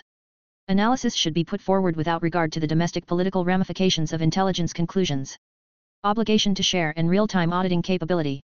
The federal government has made admirable progress in recent years by being more forward-leaning in sharing cyber threat intelligence with private sector partners and the public, emphasizing that the protective nature of such information is of value only if put into the right hands at the right time. Since critical infrastructure and services are overwhelmingly owned, managed, and defended by the private sector in the United States, there has been an increasing emphasis on declassifying intelligence and sharing actionable information with private sector partners, often through industry-specific information sharing and analysis centers, ISACs, regional meetings of government and private sector experts called InfraGard, run by the FBI, direct public notification from the Department of Homeland Security, the FBI, and, increasingly, the NSA, and more discreet one-on-one engagements led by the collecting agencies. These programs properly recognize the private sector's role in providing cybersecurity. For Americans, in practice, however, the intelligence shared by the US government through these venues is too often already known or no longer relevant by the time it makes its way through the downgrade process for sharing. In addition, government shared information often needs to take advantage of the opportunity to provide contexts, such as attribution, trends, and size of the observed cyber problem. As warranted, additional context should be provided to the private sector as a matter of routine. To continue improving the U.S. government's ability to defend the country's most vital networks, the IC must adopt an obligation to share policy process, including the capacity for a right to release intelligence products whereby newly discovered technical indicators, targeting, and other intelligence relevant to cyber defense are automatically provided either to the public or to targeted entities within 48 hours of their collection which is how counterterrorism intelligence has been managed for years when it comes to a duty to warn. Under this policy, agency heads should still have the flexibility to withhold intelligence for operational or counterintelligence reasons but would need to report regularly to Congress on the number of and justification for exceptions. This policy would make sharing intelligence and defending networks the default, as it already is in the rest of the cybersecurity community outside the IC, to improve the quantity, relevance, and timeliness of defensive information while ensuring accountability for top leaders when they must withhold this information. One of the most significant challenges within the IC is presented by the need to share information promptly among the 18 elements of the intelligence enterprise. The only long-term solution to the understandable tension between the need to share information and the need to protect intelligence sources and methods is a robust real-time auditing capability that electronically flags unauthorized access. Under an identity management system with real-time audit, even the most sensitive information acquired by America's intelligence agencies can be shared, and the access to and use of that information are appropriately monitored. Establishing a real-time auditing capability is essential to decreasing the risk for the heads of intelligence agencies in meeting their statutory requirements to ensure that they protect sources and methods associated with the classified information their agencies collect. Overclassification There is broad consensus across the U.S. government and among stakeholders that the system for classifying, declassifying, and otherwise marking and handling sensitive information is at a crossroads. Exorbitant amounts of classified data are created daily, and agency personnel often mistakenly choose classification as the default selection to ensure national security. At the same time, the effectiveness of downgraded and carefully declassified information to support foreign policy efforts has been borne out in, for example, alerting the broader world of Russia's buildup and likely plans for its invasion of Ukraine. Two executive orders principally govern how the U.S. government handles classified and sensitive information. L. Executive Order 13526, Classified National Security Information, issued in 2009-38 prescribes the classification levels and procedures for declassification. L. Executive Order 13556, Controlled Unclassified Information, issued in 2010-39 aimed to establish a uniform program for managing all unclassified information that requires safeguarding or dissemination controls. The current system for declassifying classified national security information, CNSI, is extraordinarily analog, requiring experts' review of individual records. Declassification policies are based on human review of paper and need to contemplate and handle the proliferation and volume of digital records created by agencies. The U.S. government will soon reach the point at which manual review is impossible. The declassification of CNSI should support key U.S. national security objectives, reflect mission priorities, and not serve solely as a necessary procedural function. Reforms should include L. Tighter definitions and greater specificity for categories of information requiring protection. L. More stringent policies to effect significant reductions in the number of original classification authorities, OCAS. L. Stricter accountability measures at the OCA level and more detailed security classification guides. L. Enhanced metrics for accuracy of classification. L. A general simplification of the overall system for the benefit of users. On the back end, an ODNI run declassification process that is faster, nimbler, default to automated, and larger scale should be a priority. Additionally, investments in IT are required to deal with the growing volumes of CNSI collected and produced in the digital age, along with many years' worth of existing analog and digital holdings that could provide valuable historical insights. An incoming administration needs to explore options to prioritize funding for innovation in declassification management, for example, by establishing a budget line item specifically for the modernization of declassification or designating funding for program classification management as a special interest item the administration will also need to transition to using technology, including tools and services for managing big data, which provide a robust electronic record repository, making information within and across agencies easier to organize and locate and facilitating more rapid review and release capabilities for records of emerging interest, artificial intelligence slash machine learning, which, when incorporated into existing business practices, enables machine interpretation of unstructured text and data, applies decision support technology to enable more consistent classification decisions, and expedites reviews between agencies, an expansion of commercial cloud services, which facilitate the rapid testing and deployment of new tools and technologies. However, technology is not a panacea, human expertise in information holdings and routine validation of the technology will always be necessary. With or without machine assistance, agencies will require more people and more varied skill sets to improve their ability to meet the electronic records era's classification and declassification demands and serve an incoming administration's goals. Broader U.S. government and IC intelligence needs. Increasingly, conflicts among U.S. adversaries such as China, Russia, Iran, and North Korea are conducted in the realms of technology and finance. Point 40 This challenge requires new tools, authorities, and technological expertise across the U.S. government, particularly at the Commerce Department's Bureau of Industry and Security, BIS, and the Committee on Foreign Investment in the United States, CFIUS, which is housed at the Treasury Department. An incoming conservative president should task his DNI and Secretary of Commerce with increasing coordination, the resources needed for BIS and CFIUS capacity, and proper and necessary intelligence sharing to counter the activities of multifaceted adversaries such as China. This would include additional work with private sector expertise, granting clearances to niche sector experts and United States citizen commercial and financial partners as needed. Cover in the digital age. Even in the public domain, it is becoming increasingly clear that protecting the identities of undercover intelligence officers is difficult in the digital age. Point 41 The truth is that as our daily activities are conducted predominantly in the digital domain, our antiquated system for providing cover to undercover officers has lagged woefully behind the threat from foreign adversaries. The DIA, CIA, and FBI are increasingly aware of this threat and are devoting resources to the problem. Their back office infrastructure, however, is such that they are still using methods for providing cover from decades past that put valuable intelligence officers at unnecessary risk. How intelligence officers and their families are taught to use smartphones and social media, travel, conduct banking, and take and share pictures even how and when they are paid can make it difficult to protect identities. Point 42 Legends, fake backstories, and identities are often weak, incomplete, and unable to stand up to a basic Google search. Point 43 Officers operating under non-official cover are offered even less protection and training to help them succeed. In addition, ubiquitous technical surveillance, UTS, techniques being refined by technologies emanating from the regimes in China and Russia will continue to be highly challenging for intelligence officers. An incoming administration will need to double down on resourcing and training so that members of the IC will have the expertise they need to operate clandestinely, and successfully, against hard targets. Privacy Shield For many years, the European Union, EU, has tried to force US companies operating in Europe to follow its data privacy regulations. Misleading claims in the 2013 Snowden leaks destroyed the initial Safe Harbor Framework 44 that allowed American companies to transfer data across the Atlantic, its successor. The Privacy Shield Framework 45 was struck down by European courts on the grounds that it provides insufficient protections for EU citizens against hypothetical US government surveillance. Those same European courts exempted the intelligence services of EU member states from the standards applied to the US, suggesting that trade protectionism may be the real motive behind data privacy regulations. In 2022, the Biden administration negotiated a new agreement, the Transatlantic Data Privacy Framework 46 intended to withstand European legal challenges. Given the fate of its predecessors, it is not certain that it will survive. Executive Order 14086, Enhancing Safeguards for United States Signals Intelligence Activities.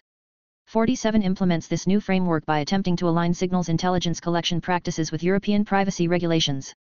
At most, the executive order's changes will be helpful support for the framework in future European litigation, at worst, they could throw sand in the gears of important intelligence programs. An incoming conservative president should reset Europe's expectations. Brussels has always arbitraged the difference between being a military ally against, for example, Russia, and conducting a full-blown trade conflict with the United States. Restrictions on data exports have been part of the trade conflict, but now they could seriously harm our military and intelligence capabilities. Moreover, restrictions on U.S. intelligence collection hurt the Europeans themselves, especially as the United States shares unprecedented amounts of intelligence on Russia's invasion of Ukraine with Europeans. 48. Europe is telling the United States to meet intelligence oversight standards that no European country meets.